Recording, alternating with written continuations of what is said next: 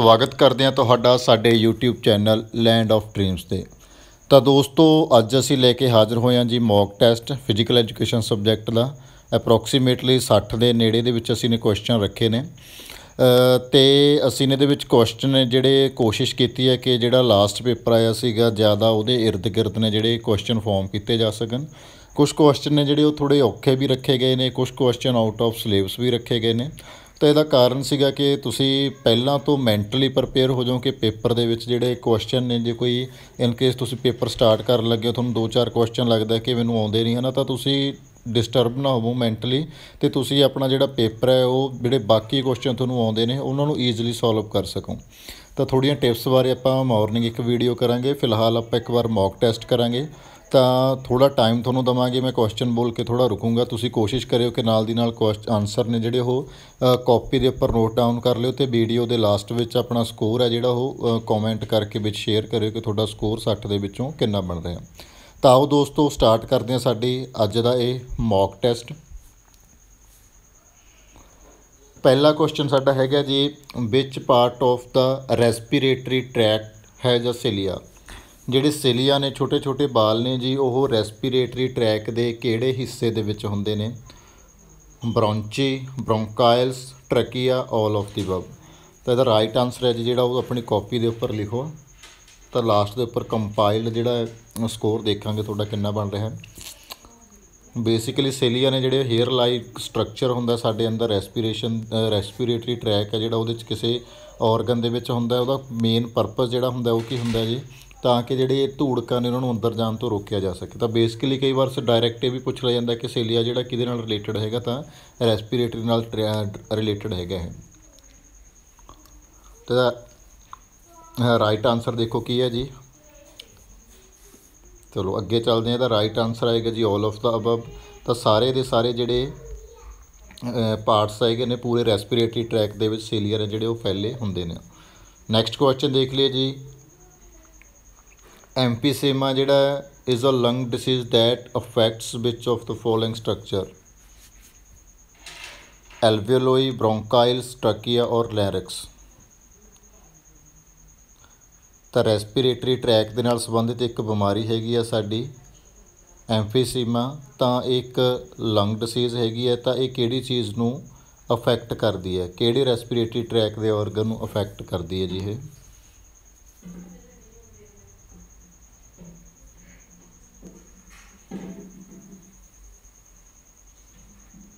ਚਲੋ, ਅਗਲੇ question answer ਤੇ ਚੱਲਦੇ ਹਾਂ ਜਿਹਦੇ ਤੇ। ਤਾਂ ਇਹਦਾ ਰਾਈਟ ਆਨਸਰ ਹੈਗਾ ਜੀ ਐਲਵੀਓਲੋਈ ਤਾਂ ਲੰਗਸ ਦੀ, ਕਿਉਂਕਿ ਇਹਦੇ ਵਿੱਚ ਦਿੱਤਾ ਲੰਗਸ ਡਿਸੀਜ਼ ਹੈਗੀ ਤਾਂ ਲੰਗਸ ਦੇ ਵਿੱਚ ਐਲਵੀਓਲੋਇਸ ਹੁੰਦੇ ਨੇ। ਐਲਵੀਓਲੋਇਸ ਨੂੰ ਕੀ ਕਰਦੀ ਹੈ ਇਹ? ਅਫੈਕਟ ਕਰਦੀ ਹੈ। ਅਗਲਾ ਕੁਐਸਚਨ ਦੇਖ ਲਈਏ ਜੀ what is the hepatic portal circulation hepatic portal circulation ਹੈ ਜਿਹੜਾ ਕਿਹੜਾ ਹੁੰਦਾ ਜੀ? ਆਪਸ਼ਨ ਏ ਹੈਗੀ ਹੈ system of veins that carries nutrient rich blood from the liver to heart ਕਿ ਇਹ ਇੱਕ ਵੇਨਸ ਦਾ ਸਾਡਾ ਸ਼ਰਾਵਾਂ ਦਾ ਸਿਸਟਮ ਹੈਗਾ ਜਿਹੜਾ ਕਿ ਨਿਊਟ੍ਰੀਐਂਟ ਰਿਚ ਬਲੱਡ ਹੈਗਾ, ਉਹ ਲੀਵਰ ਤੋਂ ਹਾਰਟ ਤੱਕ ਲੈ ਕੇ ਜਾਂਦਾ ਹੈ। ਤੇ ਬੀ ਆਪਸ਼ਨ ਹੈਗੀ ਹੈ ਜੀ system of arteries that carries oxygenated blood from the heart to liver ਕਿ ਆਰਟਰੀਜ਼ ਦਾ ਇੱਕ ਸਿਸਟਮ ਹੈਗਾ ਜਿਹੜਾ ਸ਼ੁੱਧ ਖੂਨ ਨੂੰ ਦਿਲ ਤੋਂ ਲੀਵਰ ਵੱਲ ਲੈ ਕੇ ਜਾਂਦਾ ਜੀ।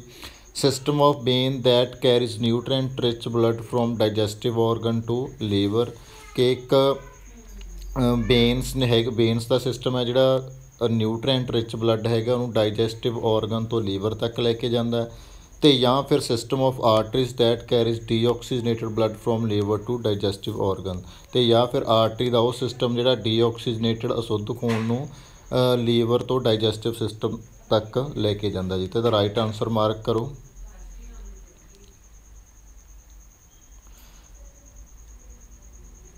ਹਾਂਜੀ, ਇਹਦਾ ਰਾਈਟ ਆਨਸਰ ਅਸੀਂ ਦੇਖ ਲੈਂਦੇ ਆ ਰਾਈਟ ਆਨਸਰ ਹੈਗਾ ਜੀ ਆਪਸ਼ਨ ਸੀ ਇਹ ਇੱਕ ਬੇਨਸ ਦਾ ਸਿਸਟਮ ਹੈ ਜਿਹੜਾ ਕਿ ਨਿਊਟ੍ਰੀਐਂਟ ਰਿਚ ਬਲੱਡ ਨੂੰ ਕੈਰੀ ਕਰਦਾ ਹੈ ਡਾਈਜੈਸਟਿਵ ਆਰਗਨ ਤੋਂ ਸਾਰਿਆਂ ਤੋਂ। ਜਿਵੇਂ ਇਹ ਦਿਖਾਇਆ ਹੋਇਆ ਇੱਥੇ, ਇਹ ਡਾਈਜੈਸਟਿਵ ਆਰਗਨ ਤੋਂ ਸਾਰੇ ਨਿਊਟ੍ਰੀਐਂਟ ਨਿਊਟ੍ਰੀਐਂਟਸ ਨੇ ਜਿਹੜੇ ਇਕੱਠੇ ਕਰਕੇ ਕਿਹਦੇ ਕੋਲ ਲੈ ਕੇ ਜਾਂਦਾ ਜੀ ਇਹ? ਲੀਵਰ ਦੇ ਕੋਲ ਲੈ ਕੇ ਜਾਂਦਾ। ਅਗਲਾ ਸਵਾਲ ਦੇਖ ਲਈਏ ਜੀ what is the name of the hormone that acts as an antagonist to glucagon insulin, somatostatin epinephrine ਜਾਂ ਕੋਰਟੀਸੋਲ। ਤਾਂ ਹੇਠ ਲਿਖਿਆਂ ਦੇ ਵਿੱਚੋਂ ਕਿਹੜਾ ਹਾਰਮੋਨ ਹੈ ਜੀ ਜਿਹੜਾ ਐਜ਼ ਏ ਐਂਟਾਗੋਨਿਸਟ ਐਕਟ ਕਰਦਾ ਗਲੂਕਾਗੋਨ ਦੇ? ਤਾਂ ਰਾਈਟ ਆਨਸਰ ਮਾਰਕ ਕਰੋ ਜੀ ਇਹਦਾ ਕਿਹੜਾ? ਤਾਂ ਕੋਸ਼ਿਸ਼ ਕਰੋ ਜੇ ਵੀਡੀਓ ਤੇਜ਼ ਹੋਈ ਤਾਂ ਵੀਡੀਓ ਨੂੰ ਤੁਸੀਂ ਪੌਜ਼ ਕਰ ਸਕਦੇ ਹੋ। ਪੌਜ਼ ਕਰਕੇ ਆਪਣਾ ਆਨਸਰ ਮਾਰਕ ਕਰੋ ਤਾਂ ਜਦੋਂ ਤੱਕ ਮੈਂ ਆਨਸਰ ਨਹੀਂ ਦੱਸ ਦਿੰਦਾ ਤਾਂ ਆਪਣਾ ਆਨਸਰ ਹੈ ਜਿਹੜਾ ਉਹ ਖੁਦ ਲਿਖੋ ਤੇ ਚੈੱਕ ਕਰੋ ਕਿ ਜਿੰਨਾ ਕ ਆਪਣੇ ਸਿਲੇਬਸ ਕੀਤਾ ਤਾਂ ਉਹਦੇ ਵਿੱਚੋਂ ਹੁਣ ਤੱਕ ਕਿੰਨਾ ਆਪਾਂ ਨੇ ਸਿੱਖਿਆ। ਤੇ ਦਾ ਰਾਈਟ ਆਨਸਰ ਆਏਗਾ ਜੀ ਇਨਸੂਲਿਨ ਐਂਟਾਗੋਨਿਸਟ ਦਾ ਮਤਲਬ ਹੁੰਦਾ ਕਿ ਗਲੂਕਾਗੋਨ ਦਾ ਵਿਰੋਧੀ ਜਿਹੜਾ ਹਾਰਮੋਨ ਹੈਗਾ ਕਿਹੜਾ, ਤਾਂ ਗਲੂਕਾਗੋਨ ਜਿਵੇਂ ਬਲੱਡ ਸ਼ੂਗਰ ਨੂੰ ਵਧਾਉਣ ਦਾ ਕੰਮ ਕਰਦਾ ਤਾਂ ਜਿਹੜਾ ਇਨਸੂਲਿਨ ਹੈ ਇਹ ਸ਼ੂਗਰ ਨੂੰ ਕੰਟਰੋਲ ਕਰਨ ਦਾ ਕੰਮ ਕਰਦਾ। ਕੋਰਟੀਸੋਲ ਹੈ ਜਿਹੜਾ ਬੇਸਿਕਲੀ ਕੋਰਟੀਸੋਲ ਹੈਗਾ ਜੀ, ਸਾਡਾ ਸਟ੍ਰੈਸ ਹਾਰਮੋਨ ਕਹਿ ਦਿੰਦੇ ਨੇ ਇਸ ਨੂੰ ਸਟ੍ਰੈਸ ਹਾਰਮੋਨ ਹੈ ਅਗਲੀ ਗੱਲ ਕਰ ਲਈਏ।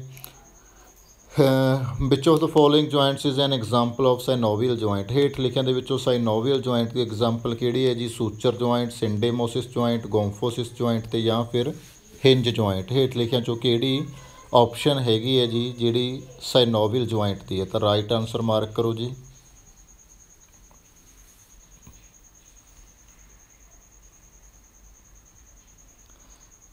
ਤਾਂ ਇਹਦਾ ਰਾਈਟ ਆਨਸਰ ਹੈਗਾ ਜੀ option D hinge joint hinge joint ਆ ਜਿਹੜਾ ਇਹ ਸਾਈਨੋਵਿਲ ਜੁਆਇੰਟ ਆ ਜਿਹੜਾ ਕਿ ਫ੍ਰੀ ਮੂਵੇਬਲ ਜੁਆਇੰਟ ਦੀ ਕੈਟਾਗਰੀ ਦੇ ਵਿੱਚ ਆਉਂਦਾ।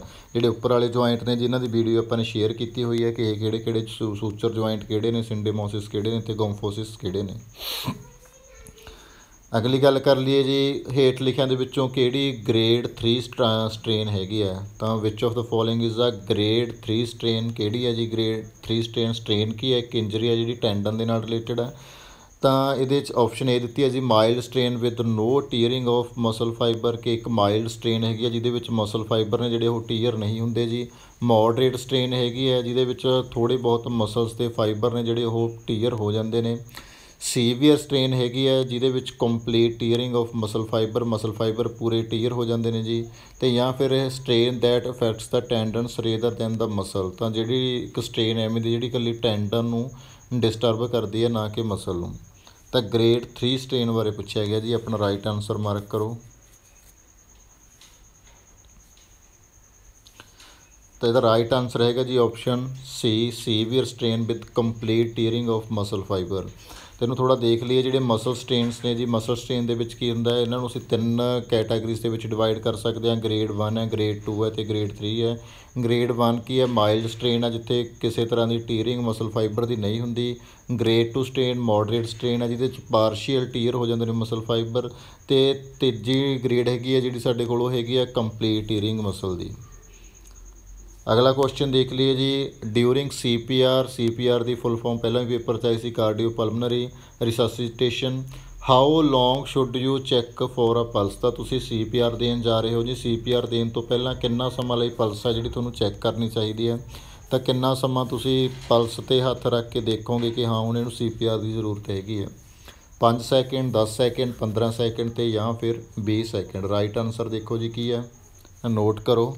ਤਾਂ ਲਾਸਟ ਤੇ ਸਾਡੇ ਨਾਲ ਆਪਣੇ ਰਾਈਟ ਆਨਸਰ ਜਿਹੜੇ ਟੋਟਲ ਤੁਹਾਡੇ ਮਾਰਕਸ ਹੋਣਗੇ, ਉਹ ਜ਼ਰੂਰ ਸ਼ੇਅਰ ਕਰਿਓ ਕਿ ਕਿੰਨੇ ਮਾਰਕਸ ਨੇ ਜਿਹੜੇ ਤੁਹਾਡੇ ਸਹੀ ਬਣ ਰਹੇ ਨੇ। ਤੇ ਦਾ ਰਾਈਟ ਆਨਸਰ ਆਊਗਾ ਜੀ ਆਪਸ਼ਨ ਬੀ 10 ਸੈਕਿੰਡਸ ਤਾਂ ਵੈਸੇ ਜਿਹੜੀ ਸੀਪੀਆਰ ਦੇ ਵਿੱਚ ਮੈਕਸਿਮਮ ਤੁਸੀਂ ਚੈੱਕ ਕਰ ਸਕਦੇ ਹੋ 15 ਸੈਕਿੰਡ ਤੱਕ ਕਰ ਸਕਦੇ ਹੋ according to American Heart Association guidelines ਪਰ ਜਿਹੜਾ ਜਰਨਲ ਰੂਲ ਹੈ, ਉਹ ਕਹਿੰਦਾ ਕਿ 10 ਸੈਕਿੰਡ ਤੱਕ ਤੁਸੀਂ ਨੇ ਪਲਸ ਚੈੱਕ ਕਰਨੀ ਹੈ। ਨੈਕਸਟ ਕੁਐਸਚਨ ਦੇਖ ਲਈਏ ਜੀ what is the first step in performing CPR. CPR ਤੁਸੀਂ ਨੇ ਦੇਣੀ ਹੈ ਕਿਸੇ ਨੂੰ ਕਾਰਡੀਓ ਪਲਮਨਰੀ ਰਿਸਸਟੇਸ਼ਨ ਦੇਣੀ ਹੈ ਤਾਂ ਤੁਸੀਂ ਪਹਿਲਾ ਸਟੈਪ ਹੈ ਜਿਹੜਾ ਤੁਹਾਡਾ ਕੀ ਹੋਊਗਾ ਜੀ? ਪਹਿਲੀ ਆਪਸ਼ਨ ਹੈਗੀ ਆ ਚੈਕਿੰਗ ਫॉर ਪਲਸ ਦੂਜੀ ਆਪਸ਼ਨ ਹੈਗੀ ਹੈ ਜੀ ਕਲੀਅਰਿੰਗ ਦਾ 에ਅਰਵੇਜ਼ ਤੀਜੀ ਹੈਗੀ ਹੈ ਐਡਮਿਨਿਸਟਰਿੰਗ ਰੈਸਕਿਊ ਬ੍ਰੇਥ ਚੌਥੀ ਹੈਗੀ ਹੈ ਸਟਾਰਟਿੰਗ ਚੈਸਟ ਕੰਪਰੈਸ਼ਨ ਤਾਂ ਸਭ ਤੋਂ ਪਹਿਲਾ ਕੰਮ ਕੀ ਕਰੋਗੇ ਜਦੋਂ ਤੁਸੀਂ ਨੇ ਸੀਪੀਆਰ ਦੇਣਾ? ਸਟਾਰਟ ਕਰਨਾ ਇਨੀਸ਼ੀਏਟ ਕਰਨਾ ਹੈ ਨਾ? ਤਾਂ ਕਿਹੜਾ ਪਹਿਲਾ ਸਟੈਪ ਕੀ ਹੋਊਗਾ? ਦੇਖੋ ਜੀ ਰਾਈਟ ਆਨਸਰ ਦੇਖੋ ਇਸ ਦਾ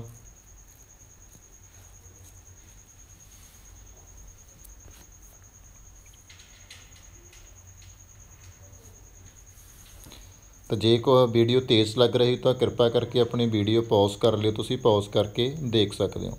ਤੇ ਦਾ ਰਾਈਟ ਆਨਸਰ ਆਊਗਾ ਜੀ, ਸਭ ਤੋਂ ਪਹਿਲਾਂ ਅਸੀਂ ਜਿਹੜੇ ਉਹਦੇ 에ਅਰ ਬੇਸ ਨੇ, ਉਹ ਕਲੀਅਰ ਕਰਾਂਗੇ, ਕੋਈ ਨੱਕ ਦੇ ਵਿੱਚ ਕੋਈ ਚੀਜ਼ ਫਸੀ ਹੈ ਜਾਂ ਮੂੰਹ ਦੇ ਵਿੱਚ, ਜਿੱਥੋਂ ਵੀ ਹੈ ਨਾ ਆਪਾਂ ਨੇ ਕੋਸ਼ਿਸ਼ ਕਰਨੀ ਉਹਨੂੰ ਸਾਹ ਦਬਾਉਣ ਦੀ, ਤਾਂ ਸਭ ਤੋਂ ਪਹਿਲਾ ਕੰਮ ਸਾਡਾ ਕੀ ਹੈ? ਕਲੀਅਰਿੰਗ ਦਾ 에ਅਰ ਬੇਸ ਤਾਂ ਏਬੀਸੀ ਵੀ ਟਰਮ ਹੈ ਜਿਹੜੀ ਦੇ ਨਾਲ ਰਿਲੇਟਡ ਹੈਗੀ ਆ। ਅਗਲਾ ਕੁਐਸਚਨ ਦੇਖ ਲਈਏ ਜੀ dash a bacterial infection caused by a clostridium tetani bacteria ਤਾਂ ਹੇਠ ਲਿਖਿਆਂ ਦੇ ਵਿੱਚੋਂ ਕਿਹੜੀ ਬਿਮਾਰੀ ਹੈ ਜੀ, ਜਿਹੜੀ ਇੱਕ ਬੈਕਟੀਰੀਆ ਨਾਲ ਹੁੰਦੀ ਹੈ? ਬੈਕਟੀਰੀਆ ਦਾ ਨਾਮ ਕੀ ਹੈ? ਕਲੋਸਟ੍ਰੀਡੀਅਮ ਟੈਟਨੀ ਤਾਂ ਆਪਸ਼ਨ ਹੈਗੇ ਨੇ ਜੀ ਟਾਈਫਾਈਡ ਟੈਟਨਸ ਟੀਲ ਲਿੰਫੋਟਾਈਟਸ ਜਾਂ ਫਿਰ ਮਲੇਰੀਆ ਤਾਂ ਰਾਈਟ ਆਨਸਰ ਮਾਰਕ ਕਰੋ ਜੀ ਇਸ ਦਾ। ਤੇ ਸਿੰਪਲੀ ਹੈ ਜੀ, ਇਹਦਾ ਰਾਈਟ ਆਨਸਰ ਹੈਗਾ ਟੈਟਨਸ ਤੇ ਟੈਟਨਸ ਦਾ ਦੂਜਾ ਨਾਮ ਹੈਗਾ ਇਹਨੂੰ ਲੋਕ ਜਾ ਵੀ ਕਹਿ ਦਿੰਦੇ ਨੇ, ਯਾਨੀ ਕਿ ਸਾਡੇ ਮਸਲਸ ਨੇ ਜਿਹੜੇ ਉਹ ਆਕੜਨੇ ਸ਼ੁਰੂ ਹੋ ਜਾਂਦੇ ਨੇ ਟੈਟਨਸ ਦੇ ਵਿੱਚ। ਅਗਲੀ ਗੱਲ ਕਰ ਲਈਏ ਜੀ ਡੈਸਟੋਲਿਕ ਪ੍ਰੈਸ਼ਰ ਕੀ ਹੁੰਦਾ? ਤਾਂ ਬੇਸਿਕਲੀ ਜਿਹੜਾ ਚਲੋ ਇਹ ਬਾਅਦ ਚੋਂ ਗੱਲ ਕਰਦੇ ਹਾਂ, ਇੱਕ ਵਾਰ ਕੁਐਸਚਨ ਦੇਖ ਲਈ ਡਾਇਸਟੋਲਿਕ ਪ੍ਰੈਸ਼ਰ ਦੀਆਂ ਆਪਸ਼ਨ ਹੈਗੀਆਂ ਨੇ maximum pressure in arteries during a heartbeat ਕਿ ਜਦੋਂ ਸਾਡਾ ਹਾਰਟ ਬੀਟ ਕਰ ਰਿਹਾ ਤਾਂ ਜਿਹੜਾ ਆਰਟਰੀ ਦੇ ਵਿੱਚ ਮੈਕਸਿਮਮ ਪ੍ਰੈਸ਼ਰ ਹੁੰਦਾ, ਉਹਨੂੰ ਕਹਿੰਦੇ ਨੇ ਜੀ minimum pressure in the arteries during a heartbeat ਜਦੋਂ ਸਾਡਾ ਹਾਰਟ ਬੀਟ ਕਰ ਰਿਹਾ ਤਾਂ ਮਿਨੀਮਮ ਪ੍ਰੈਸ਼ਰ ਕਿਹੜਾ ਉਹਨੂੰ ਡਾਇਸਟੋਲਿਕ ਕਹਿੰਦੇ ਨੇ। The average pressure in arteries over time ਜਾਂ ਐਵਰੇਜ ਪ੍ਰੈਸ਼ਰ ਹੁੰਦਾ ਜਿਹੜਾ ਹਰ ਸਮੇਂ ਦੇ ਪ੍ਰੈਸ਼ਰ ਨੂੰ ਜਿਹੜਾ ਫਲਕਚੁਏਟ ਹੋ ਰਿਹਾ, ਉਹਦੀ ਐਵਰੇਜ ਕੱਢੀਏ, ਉਹਨੂੰ ਡਾਇਸਟੋਲਿਕ ਪ੍ਰੈਸ਼ਰ ਕਹਿੰਦੇ ਨੇ। ਤੇ ਜਾਂ ਫਿਰ the pressure in veins during a heartbeat ਤੇ ਜਾਂ ਫਿਰ ਹਾਰਟ ਬੀਟ ਦੇ ਵਿੱਚ ਵੇਨ ਦੇ ਪ੍ਰੈਸ਼ਰ ਨੂੰ ਕਹਿੰਦੇ ਨੇ। ਤਾਂ ਇਹਦਾ ਰਾਈਟ ਆਨਸਰ ਮਾਰਕ ਕਰੋ ਜੀ। ਉਹ ਤੱਕ ਡਿਸਕਸ ਕਰ ਲਈਏ ਕਿ ਇਸ ਦੋ ਤਰ੍ਹਾਂ ਦਾ ਸਾਡਾ ਬਲੱਡ ਪ੍ਰੈਸ਼ਰ ਜਿਹੜਾ ਅਸੀਂ ਦੇਖਦੇ ਹਾਂ।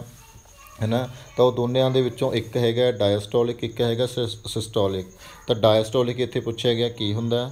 ਤੇ ਸਿਸਟੋਲਿਕ ਅਸੀਂ ਸ਼ੇਅਰ ਕਰਾਂਗੇ ਇਸ ਤੋਂ ਬਾਅਦ ਇੱਕ ਵਾਰ ਤੁਸੀਂ ਆਨਸਰ ਹੈ ਜਿਹੜਾ ਆਪਣਾ ਮਾਰਕ ਕਰੋ। ਦਾ ਰਾਈਟ ਆਨਸਰ ਹੈਗਾ ਜੀ ਆਪਸ਼ਨ ਬੀ ਡਾਇਸਟੋਲਿਕ ਕੀ ਹੁੰਦਾ? ਮਿਨੀਮਮ ਪ੍ਰੈਸ਼ਰ ਤੇ ਜੇ ਮੈਕਸਿਮਮ ਪ੍ਰੈਸ਼ਰ ਹੋਵੇ, ਤੇ ਹੋਊਗਾ ਆਰਟਰੀਜ਼ ਦੇ ਵਿੱਚ, ਇਹ ਵੀ ਯਾਦ ਰੱਖਿਓ ਜੀ ਮਿਨੀਮਮ ਪ੍ਰੈਸ਼ਰ ਨੂੰ ਅਸੀਂ ਡਾਇਸਟੋਲਿਕ ਬੋਲਦੇ ਹਾਂ ਤੇ ਮੈਕਸਿਮਮ ਨੂੰ ਅਸੀਂ ਸਿਸਟੋਲਿਕ ਬੋਲਦੇ ਹਾਂ। ਜਿਹੜਾ ਸਿਸਟੋਲਿਕ ਹੈ ਜੀ, ਉਹ 120 mmHg ਹੁੰਦਾ ਤੇ ਜਿਹੜਾ ਡਾਇਸਟੋਲਿਕ MMH ਹੈ ਉਹ 80 mmHg ਹੁੰਦਾ ਨੈਕਸਟ ਕੁਐਸਚਨ ਹੈਗਾ ਜੀ ਹੀਮੈਟੋਲੋਜੀ ਕਾਦੀ ਸਟੱਡੀ ਹੈਗੀ ਹੈ? Haematology the study of H B haemoglobin ਦੀ ਹੈ ਜੀ R B C red blood cell ਜਿਹਨੂੰ ਅਸੀਂ ਐਰੀਥਰੋਸਾਈਟਸ ਵੀ ਕਹਿ ਦਿੰਦੇ ਆ ਬਲੱਡ ਦੀ ਹੈ ਜੀ ਇਹਦੇ ਤੇ, ਜਾਂ ਫਿਰ ਪਲੇਟਲੈਟਸ ਦੀ ਹੈ ਜਿਹਨੂੰ ਅਸੀਂ ਥਰਮਬੋਸਾਈਟ ਵੀ ਕਹਿ ਦਿੰਦੇ ਆ ਤਾਂ ਰਾਈਟ ਆਨਸਰ ਦੇਖੋ ਜੀ, ਕੀ ਆਏਗਾ? ਹਿਮੈਟੋਲੋਜੀ ਦਾ।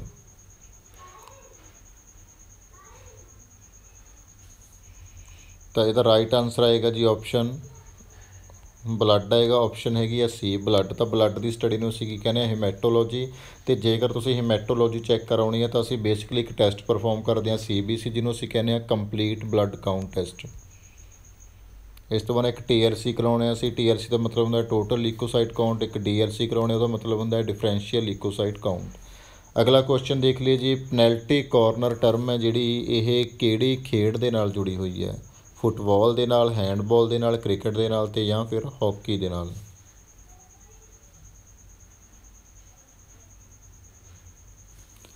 ਰਾਈਟ ਆਨਸਰ ਮਾਰਕ ਕਰੋ ਜੀ। ਤਾਂ ਈਜ਼ੀ ਕੁਐਸਚਨ ਹੈ ਦਾ ਰਾਈਟ ਆਨਸਰ ਹੈ ਜਿਹੜਾ ਰਾਈਟ ਆਨਸਰ ਇਹਦਾ ਆਏਗਾ ਜੀ। ਹਾਕੀ ਪੈਨਲਟੀ ਕਾਰਨਰ ਹੈ ਜਿਹੜੀ, ਉਹ ਹਾਕੀ ਦੇ ਵਿੱਚ ਦਿੱਤੀ ਜਾਂਦੀ ਹੈ। ਫੁੱਟਬਾਲ ਦੇ ਵਿੱਚ ਜਿਹੜਾ ਹੈਗਾ, ਉਹ ਕਾਰਨਰ ਦਿੱਤਾ ਜਾਂਦਾ ਹੈ।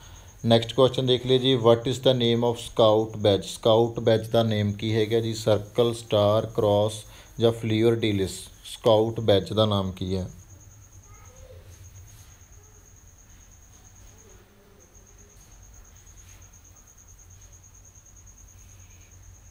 ਤੇ ਦਾ ਰਾਈਟ ਆਨਸਰ ਹੈਗਾ ਜੀ ਫਲੀਅਰ ਡੀਲਿਸ ਅਗਲਾ ਕੁਐਸਚਨ ਦੇਖ ਲਈਏ what is the name of the highest award in scouting worldwide ਤਾਂ ਵਰਲਡ ਵਾਈਡ ਜਿਹੜੇ ਸਕਾਊਟ ਨੇ, ਉਹਨਾਂ ਦਾ ਸਭ ਤੋਂ ਹਾਈਐਸਟ ਅਵਾਰਡ ਕਿਹੜਾ ਹੈਗਾ ਜੀ? Eagle scout chief scout king scout ਤੇ ਜਾਂ ਫਿਰ ਕੁਈਨ ਸਕਾਊਟ ਲੇਟੈਸਟ ਆਪਾਂ ਨੇ ਕੀਤਾ ਵੀ ਸੀਗਾ, ਜਿਹੜੀ ਲਾਸਟ ਵੀਡੀਓ ਸੀ ਕੀਤੀ ਸੀ ਸਕਾਊਟ ਐਂਡ ਗਾਈਡ ਦੀ, ਉਹਦੇ ਵਿੱਚ ਕੀਤਾ ਸੀ ਅਸੀਂ ਨੇ। ਤੇ ਦਾ ਰਾਈਟ ਆਨਸਰ ਆਏਗਾ ਜੀ ਕੁਈਨਸ ਸਕਾਊਟ ਅਗਲਾ ਕੁਐਸਚਨ ਦੇਖ ਲਈਏ ਇਨ ਵਿੱਚ ਮੰਥ ਆਰ ਦਾ ਕਿਲਾ ਰਾਏਪੁਰ ਗੇਮਸ ਯੂਜ਼ਲੀ ਹੈਲਡ। ਤਾਂ ਕਿਹੜੇ ਮਹੀਨੇ ਦੇ ਵਿੱਚ ਕਿਲਾ ਰਾਏਪੁਰ ਦੀਆਂ ਖੇਡਾਂ ਕਰਵਾਈਆਂ ਜਾਂਦੀਆਂ ਨੇ ਜੀ? ਜਨਵਰੀ, ਫਰਵਰੀ, ਮਾਰਚ ਤੇ ਜਾਂ ਫਿਰ ਅਪ੍ਰੈਲ। ਤਾਂ ਬੇਸਿਕਲੀ ਦੇਖ ਲਈ ਅਸੀਂ ਕਿਲਾ ਰਾਏਪੁਰ ਦੀਆਂ ਖੇਡਾਂ 1933 ਦੇ ਵਿੱਚ ਸਟਾਰਟ ਹੋਈਆਂ ਸੀਗੀਆਂ। ਇਹਨਾਂ ਨੂੰ ਮਿੰਨੀ 올림픽ਸ ਵੀ ਕਹਿ ਦਿੱਤਾ ਜਾਂਦਾ ਜੀ ਕਿਲਾ ਰਾਏਪੁਰ ਦੀਆਂ ਖੇਡਾਂ ਨੂੰ।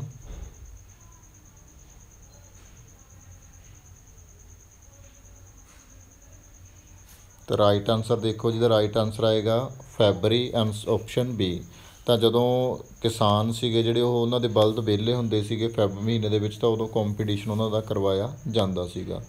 ਬਾਬਾ ਬਖਸ਼ੀਸ਼ ਜੀ ਸੀ ਜਿਹੜੇ ਮਸ਼ਹੂਰ ਸੀਗੇ ਬਲਦਾਂ ਦੀ ਜੋੜੀ ਵਾਲੇ।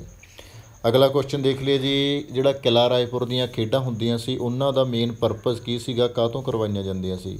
ਆਪਸ਼ਨ ਏ ਹੈਗਾ to seek K rural sports and culture to promote international relations to raise funds for local charities to provide entertainment for tourists ਤਾਂ ਇਹਦਾ ਰਾਈਟ ਆਨਸਰ ਕੀ ਹੋਊਗਾ ਜੀ? ਕਿਲਾ ਰਾਏਪੁਰ ਦੀਆਂ ਖੇਡਾਂ ਕਿਉਂ ਕਰਾਈਆਂ ਜਾਂਦੀਆਂ ਨੇ? ਕੰ ਜਾਂਦੀਆਂ ਸੀਗੀਆਂ ਰੂਰਲ ਸਪੋਰਟਸ ਨੂੰ ਸ਼ੋਅ ਕਰਨ ਦੇ ਲਈ ਇੰਟਰਨੈਸ਼ਨਲ ਰਿਲੇਸ਼ਨ ਪ੍ਰਮੋਟ ਕਰਨ ਦੇ ਲਈ ਕਰਵਾਈਆਂ ਜਾਂਦੀਆਂ ਸੀ, ਜਾਂ ਫਿਰ ਦਾਨ ਰੱਪਾ ਕਰਨ ਲਈ ਕਰਵਾਈਆਂ ਜਾਂਦੀਆਂ ਸੀ, ਜਾਂ ਫਿਰ ਜਿਹੜੇ ਬਾਹਰੋਂ ਬੰਦੇ ਆਉਂਦੇ ਸੀ ਉਹਨਾਂ ਦੇ ਐਂਟਰਟੇਨਮੈਂਟ ਲਈ ਕਰਵਾਈਆਂ ਜਾਂਦੀਆਂ ਸੀ। ਤੇ ਇਹਦਾ ਰਾਈਟ ਆਨਸਰ ਆਊਗਾ ਜੀ ਆਪਸ਼ਨ ਏ ਯਾਨੀ ਕਿ ਕਰਵਾਈਆਂ ਜਾਂਦੀਆਂ ਨੇ ਜਿਹੜਾ ਰੂਰਲ ਸਪੋਰਟਸ ਕਲਚਰ ਹੈਗਾ, ਉਹਨੂੰ ਪ੍ਰਮੋਟ ਕਰਨ ਦੇ ਲਈ ਜਾਂ ਸ਼ੋਅ ਕਰਨ ਦੇ ਲਈ। ਅਗਲਾ ਕੁਐਸਚਨ ਦੇਖ ਲਈਏ ਜੀ। ਹਾਈਐਸਟ ਅਵਾਰਡ ਕਿਹੜਾ ਹੈਗਾ ਜੀ? ਤੇ for sports person in India has the prize ਤਾਂ ਹਾਈਐਸਟ ਅਵਾਰਡ ਸਪੋਰਟਸ ਪਰਸਨ ਦੇ ਲਈ ਕਿਹੜਾ ਤੇ ਉਹਦਾ ਪ੍ਰਾਈਜ਼ ਕਿੰਨਾ? ਆਪਸ਼ਨ ਏ ਹੈਗਾ ਜੀ, ਖੇਲ ਰਤਨ ਅਵਾਰਡ ਜਿਹੜਾ ਕਿ ਸਟਾਰਟ ਹੋਇਆ 1991 92 ਦੇ ਵਿੱਚ। ਤੇ ਇਹਦਾ ਪ੍ਰਾਈਜ਼ ਮਨੀ ਹੈਗੀ ਹੈ 25 ਲੱਖ ਜਾਂ option B Khel Ratna award 1991 92 ਵਿੱਚ 20 ਲੱਖ ਰੁਪਇਆ, ਖੇਲ ਰਤਨ ਅਵਾਰਡ 1991 92 ਵਿੱਚ 35 ਲੱਖ ਰੁਪਇਆ। ਤੇ ਇਹਦਾ ਰਾਈਟ ਆਨਸਰ ਕੀ ਹੋਏਗਾ ਜੀ? ਤਾਂ ਹਾਈਐਸਟ ਅਵਾਰਡ ਹੈ ਜਿਹੜਾ ਸਾਰਾ, ਸਾਨੂੰ ਸਾਰਿਆਂ ਨੂੰ ਪਤਾ ਹੈ ਤਾਂ ਖੇਲ ਰਤਨ ਅਵਾਰਡ ਹੈ ਪਹਿਲਾਂ ਇਹਦਾ ਨਾਮ ਰਾਜੀਵ ਗਾਂਧੀ ਖੇਲ ਰਤਨ ਅਵਾਰਡ ਸੀਗਾ। ਉਸ ਤੋਂ ਬਾਅਦ ਇਹਨੂੰ ਚੇਂਜ ਕਰਕੇ ਮੇਜਰ ਧਿਆਨ ਚੰਦ ਖੇਲ ਰਤਨ ਅਵਾਰਡ ਇਹਦਾ ਨਾਮ ਕਰ ਦਿੱਤਾ ਗਿਆ ਸੀ, ਮੋਦੀ ਦੁਆਰਾ ਚੇਂਜ ਕੀਤਾ ਗਿਆ ਸੀਗਾ ਇਹ। ਤਾਂ ਇਹਦਾ ਰਾਈਟ ਆਨਸਰ ਜਿਹੜਾ ਆਊਗਾ ਜੀ, ਉਹ ਆਊਗਾ 25 ਲੱਖ ਰੁਪਇਆ ਖੇਲ ਰਤਨ ਅਵਾਰਡ ਸਭ ਤੋਂ ਹਾਈਐਸਟ ਅਵਾਰਡ ਐਕਸਪੋਰਟਸ ਪਰਸਨ ਦੇ ਲਈ ਤੇ ਇਹਦੀ ਪ੍ਰਾਈਜ਼ ਮਨੀ ਹੈ ਜਿਹੜੀ ਉਹ ਹੈਗੀ ਹੈ ਜੀ 25 ਲੱਖ। ਅਗਲਾ ਕੁਐਸਚਨ ਦੇਖ ਲਈਏ ਜੀ ਆਇਰਨ ਇੱਕ ਖਣਿਜ ਪਦਾਰਥ ਹੈਗਾ ਤਾਂ ਆਇਰਨ ਦਾ ਬੈਸਟ ਸੋਰਸ ਕਿਹੜਾ ਹੇਠ ਲਿਖਿਆਂ ਦੇ ਵਿੱਚੋਂ ਸਪਾਈਨਕ ਹੈਗਾ ਜੀ white bread soda or candy ਕਿਹੜਾ ਹੇਠ ਲਿਖਿਆਂ ਦੇ ਵਿੱਚੋਂ ਆਇਰਨ ਦਾ ਲੋਹੇ ਦਾ ਬੈਸਟ ਸੋਰਸ ਹੈਗਾ? ਤਾਂ ਆਇਰਨ ਦੀ ਗੱਲ ਕਰ ਲਈਏ, ਪਹਿਲਾਂ ਵੀ ਅਸੀਂ ਵਾਰ-ਵਾਰ ਕਰ ਚੁੱਕੇ ਹਾਂ ਕਿ ਆਇਰਨ ਆ ਜਿਹੜਾ ਆਕਸੀਜਨ ਦੇ ਨਾਲ ਬੌਂਡ ਬਣਾਉਂਦਾ, ਜਿੱਥੋਂ ਹੀਮੋਗਲੋਬਿਨ ਫਾਰਮ ਹੁੰਦਾ ਹੈ। ਹੀਮੋਗਲੋਬਿਨ ਜਿਹੜਾ ਕਿ ਰੈੱਡ ਬਲੱਡ ਸੈੱਲ ਦਾ ਇੱਕ ਇੰਪੋਰਟੈਂਟ ਪਾਰਟ ਹੈਗਾ। ਰੈੱਡ ਬਲੱਡ ਸੈੱਲ ਜਿਨ੍ਹਾਂ ਨੂੰ ਅਸੀਂ ਐਰੀਥਰੋਸਾਈਟ ਵੀ ਕਹਿ ਦਿੰਦੇ ਹਾਂ। ਤਾਂ ਹੇਠ ਲਿਖਿਆਂ ਦੇ ਵਿੱਚੋਂ ਆਇਰਨ ਦਾ ਸੋਰਸ ਹੈਗਾ ਜੀ ਸਪਾਈਨਕ ਅਗਲਾ ਕੁਐਸਚਨ ਦੇਖ ਰਹੇ ਜੀ which of the following is not a seated posture in Ashtanga yoga? ਤਾਂ ਅਸ਼ਟਾਂਗ ਯੋਗ ਅਸ਼ਟ ਆਂਗ ਸ਼ਬਦ ਤੋਂ ਬਣਿਆ ਜੀ, ਸੰਸਕ੍ਰਿਤ ਦੇ ਤੋਂ, ਜਿਹਦੇ 8 ਅੰਗ ਹੁੰਦੇ ਨੇ। ਤੇ ਸਵਾਲ ਪੁੱਛਿਆ ਗਿਆ ਕਿ ਸੀਟਡ ਹੇਠਾਂ ਬੈਠਣ ਵਾਲਾ ਆਸਣ ਕਿਹੜਾ? ਨਹੀਂ, ਪਦਮ ਆਸਣ, ਸੁਖ ਆਸਣ, ਬਕ ਆਸਨ ਤੇ ਜਾਂ ਫਿਰ ਅਰਧ ਪਦਮ ਆਸਣ। ਤਾਂ ਇਹਦਾ ਰਾਈਟ ਆਨਸਰ ਕੀ ਹੋਊਗਾ ਜੀ? ਮਾਰਕ ਕਰੋ।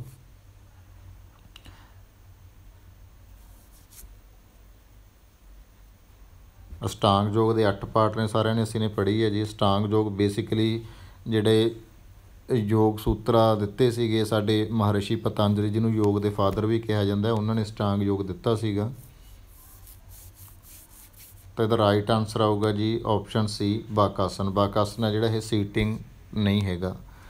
ਅਗਲਾ ਸਵਾਲ ਦੇਖ ਲਈਏ ਜੀ ਵਟ ਇਜ਼ ਦਾ ਸ਼ੁਨਕਿਆ ਇਨ ਯੋਗਿਕ ਪ੍ਰਾਣਾਯਮ? ਯੋਗਿਕ ਪ੍ਰਾਣਾਯਮ ਨੇ ਜਿਹੜੇ ਉਹਨਾਂ ਦੇ ਵਿੱਚ ਸ਼ੁਨਕਿਆ ਦਾ ਕੀ ਮਤਲਬ ਹੈ? ਪ੍ਰਾਣਾਯਮ ਜਾਣੀ ਕਿ ਪ੍ਰਾਣਾ ਨੂੰ ਕੰਟਰੋਲ ਕਰਨ ਦੇ ਨੂੰ ਕਿਹਾ ਜਾਂਦਾ ਬ੍ਰੇਥ ਕੰਟਰੋਲਿੰਗ ਜਿਹੜੀ ਆਰਟ ਹੈਗਾ ਉਹਨੂੰ ਪ੍ਰਾਣਾਯਮ ਕਿਹਾ ਜਾਂਦਾ ਜੀ। ਤਾਂ ਸੁਨੱਕਿਆ ਕੀ ਹੈ ਪ੍ਰਾਣਾਯਮ ਦੇ ਵਿੱਚ? ਇਨਹੇਲੇਸ਼ਨ ਸਾਹ ਅੰਦਰ ਲੈਣਾ ਸਸਪੈਂਸ਼ਨ ਆਫਟਰ ਐਕਸਲੇਸ਼ਨ ਸਾਹ ਬਾਹਰ ਕੱਢਣ ਤੋਂ ਬਾਅਦ ਸਾਹ ਨੂੰ ਰੋਕਣਾ ਐਕਸਲੇਸ਼ਨ ਸਾਹ ਨੂੰ ਬਾਹਰ ਕੱਢਣਾ holding of the inhaled air ਹਵਾ ਨੂੰ ਅੰਦਰ ਖਿੱਚ ਕੇ ਰੋਕ ਕੇ ਰੱਖਣਾ। ਤਾਂ ਇਹਨਾਂ ਦੇ ਵਿੱਚੋਂ ਸੁਨੱਕਿਆ ਕਿਹਦਾ ਨਾਮ ਹੈਗਾ ਜੀ? ਪ੍ਰਾਣਾਯਮ, ਇਹ ਵੀ ਯਾਦ ਰੱਖਿਓ ਸਟਾਂਗ ਯੋਗ ਦਾ ਚੌਥਾ ਅੰਗ ਹੈ ਜੀ, ਪ੍ਰਾਣਾਯਮ। ਆਸਨ ਤੋਂ ਬਾਅਦ ਆਉਂਦਾ ਤੇ ਰਾਈਟ ਆਨਸਰ ਇਹਦਾ ਕੀ ਹੋਏਗਾ ਜੀ? ਰਾਈਟ ਆਨਸਰ ਹੋਏਗਾ, ਸਾਡਾ ਇਸ ਦਾ ਸਸਪੈਂਸ਼ਨ ਸਸਪੈਂਸ਼ਨ ਹੋਏਗਾ ਇਸ ਦਾ right answer suspension of exhalation ਯਾਨੀ ਕਿ ਸਾਹ ਬਾਹਰ ਕੱਢਣ ਤੋਂ ਬਾਅਦ ਰੋਕਣਾ ਯੋਗਿਕ ਪ੍ਰਾਣਾਯਾਮ ਦੇ ਬਿਨਾ, ਇਹਦੇ ਚ, ਇਹਦੇ ਬਿਨਾ ਹੋਰ ਵੀ ਕੁਝ ਟਰਮ ਯੂਜ਼ ਕੀਤੀਆਂ ਜਾਂਦੀਆਂ ਨੇ, ਜਿਹੜੀਆਂ ਤੁਸੀਂ ਸੁਣੀਆਂ ਹੋਣਗੀਆਂ। ਪੂਰਕਾ ਵਰਡ ਯੂਜ਼ ਕੀਤਾ ਜਾਂਦਾ ਹੈ ਇਨਹੇਲੇਸ਼ਨ ਵਾਸਤੇ, ਕੁੰਭਕਾ ਕੀਤਾ ਜਾਂਦਾ ਹੈ ਰਿਟੈਂਸ਼ਨ ਵਾਸਤੇ, ਰੇਚਕਾ ਕੀਤਾ ਜਾਂਦਾ ਬਾਹਰ ਸਾਹ ਕੱਢਣ ਵਾਸਤੇ। ਪੂਰਕ ਦਾ ਮਤਲਬ ਸਾਹ ਅੰਦਰ ਰਹਿਣਾ, ਕੁੰਭਕ ਦਾ ਮਤਲਬ ਅੰਦਰ ਲਏ ਹੋਏ ਸਾਹ ਨੂੰ ਰੋਕਣਾ, ਰੇਚਕ ਦਾ ਮਤਲਬ ਸਾਹ ਬਾਹਰ ਕੱਢਣਾ ਸੁਨੱਕਿਆ ਦਾ ਮਤਲਬ ਬਾਹਰ ਕੱਢੇ ਹੋਏ ਸਾਹ ਨੂੰ ਰੋਕਣਾ। ਤਾਂ ਚਾਰ ਸੈਕਸ਼ਨ ਹੁੰਦੇ ਨੇ ਯੋਗਿਕ ਪ੍ਰਾਣਾਯਾਮ ਦੇ। ਇਹ ਤਿੰਨ ਬੇਸਿਕਲੀ ਸਭ ਕਿਤੇ ਮਿਲ ਜਾਂਦੇ ਨੇ, ਚੌਥਾ ਨਵਾਂ ਮਿਲਿਆ ਸੀ, ਤਾਂ ਕਰਕੇ ਆਪਾਂ ਇਹਦੀ ਗੱਲ ਕੀਤੀ ਹੈ। ਅਗਲਾ ਗੱਲ ਜੀ ਹਾਈਪੋਟੈਂਸ਼ਨ ਕਿਹਨੂੰ ਕਹਿੰਦੇ ਨੇ? ਤਾਂ ਲਾਸਟ ਪੇਪਰ ਦੇ ਵਿੱਚ ਹਾਈਪਰਟੈਂਸ਼ਨ ਆਇਆ ਸੀ, ਸੌਖਾ ਹੀ ਕੁਐਸਚਨ ਹੈ। ਹਾਈਪਰਟੈਂਸ਼ਨ ਦਾ ਮਤਲਬ ਹੈਗਾ ਸੀ ਹਾਈ ਬਲੱਡ ਪ੍ਰੈਸ਼ਰ ਇਹਦਾ ਆਪੋਜ਼ਿਟ ਹੈਗਾ ਹਾਈਪੋਟੈਂਸ਼ਨ ਇਹਦਾ ਰਾਈਟ ਆਨਸਰ ਹੋਏਗਾ ਲੋ ਬਲੱਡ ਪ੍ਰੈਸ਼ਰ ਅਗਲਾ ਕੁਐਸਚਨ ਦੇਖ ਲਈਏ ਜੀ। Who has been bestowed with the blue cross the ISSF's highest award ਤਾਂ ਹੇਠ ਲਿਖਿਆਂ ਦੇ ਵਿੱਚੋਂ ਕਿਹੜੇ ਨੂੰ ਬਲੂ ਕ੍ਰਾਸ ਅਵਾਰਡ ਆ ਜਿਹੜਾ ਦਿੱਤਾ ਗਿਆ ਸੀ, ਜਿਹੜਾ ਕਿ ਆਈਐਸਐਸਐਫ ਦਾ ਹਾਈਐਸਟ ਅਵਾਰਡ ਹੈਗਾ? ਨੀਰ ਚੋਪੜਾ ਨੂੰ, ਅਭਿਨਵ ਬਿੰਦਰਾ ਨੂੰ, ਧਿਆਨ ਚੰਦ ਨੂੰ ਤੇ ਜਾਂ ਫਿਰ ਪੀਵੀ ਸਿੰਧੂ ਨੂੰ। ਤੇ ਰਾਈਟ ਆਨਸਰ ਮਾਰਕ ਕਰੋ ਜੀ ਕੀ ਹੋਏਗਾ। ਤਾਂ ਬਲੂ ਕ੍ਰਾਸ ਹੈ ਜਿਹੜਾ ਬੇਸਿਕਲੀ ਇਹ ਦਿੱਤਾ ਜਾਂਦਾ ਜੀ ਸ਼ੂਟਿੰਗ ਦੇ ਵਿੱਚ। ਸ਼ੂਟਿੰਗ ਦੇ ਨਾਲ ਸੰਬੰਧਿਤ ਕੌਣ ਹੈਗੇ ਨੇ ਇੱਥੇ? ਅਭਿਨਵ ਬਿੰਦਰਾ। ਸ਼ੂਟਿੰਗ ਦੇ ਨਾਲ ਰਿਲੇਟਡ ਇੱਥੇ ਹੈਗੇ ਨੇ ਅਭਿਨਵ ਬਿੰਦਰਾ। ਤਾਂ ਅਭਿਨਵ ਬਿੰਦਰਾ ਨੂੰ ਆਈ ਥਿੰਕ 2018 ਦੇ ਵਿੱਚ ਆਈਐਸਐਸਐਫ ਦੁਆਰਾ ਬਲੂ ਕ੍ਰਾਸ ਆ ਜਿਹੜਾ ਉਹ ਦਿੱਤਾ ਗਿਆ ਸੀਗਾ ਜੀ। ਇਹਦਾ ਰਾਈਟ ਆਨਸਰ ਆਏਗਾ ਅਭਿਨਵ ਬਿੰਦਰਾ। 2008 ਦੇ ਵਿੱਚੋਂ ਇਹਨਾਂ ਨੇ 10 ਮੀਟਰ ਰਾਈਫਲ ਦੇ ਵਿੱਚੋਂ 골ਡ ਮੈਡਲ ਜਿੱਤਿਆ ਸੀ 올림픽ਸ ਦੇ ਵਿੱਚੋਂ। ਅਗਲਾ ਸਵਾਲ ਦੇਖ ਲਈਏ ਜੀ which type of food is considered tamasic in yoga? Yoga ਦੇ ਵਿੱਚ ਤਾਮਸਿਕ ਫੂਡ ਕਿਹਨੂੰ ਕਿਹਾ ਜਾਂਦਾ ਜੀ? ਆਪਸ਼ਨ ਹੈਗਾ fruit fresh fruits and vegetables processed food nuts and seeds or legumes ਕਿਹੜਿਆਂ ਨੂੰ ਤਾਮਸਿਕ ਫੂਡ ਆਖਿਆ ਜਾਂਦਾ ਜੀ ਯੋਗਾ ਦੇ ਵਿੱਚ? ਤਾਂ ਯੋਗਾ ਦੇ ਵਿੱਚ ਬੇਸਿਕਲੀ ਤਿੰਨ ਤਰ੍ਹਾਂ ਦੇ ਫੂਡ ਦੀ ਗੱਲ ਆਪਾਂ ਨੇ। ਲਾਸਟ ਵੀਡੀਓ ਦੇ ਯੋਗੀ ਕਾਲੀ ਚ ਕੀਤੀ ਸੀਗੀ। ਤਾਮਸਿਕ ਫੂਡ ਹੁੰਦੇ ਨੇ, ਰਾਜਸਿਕ ਫੂਡ ਹੁੰਦੇ ਨੇ ਤੇ ਸਾਤਵਿਕ ਫੂਡ ਹੁੰਦੇ ਨੇ।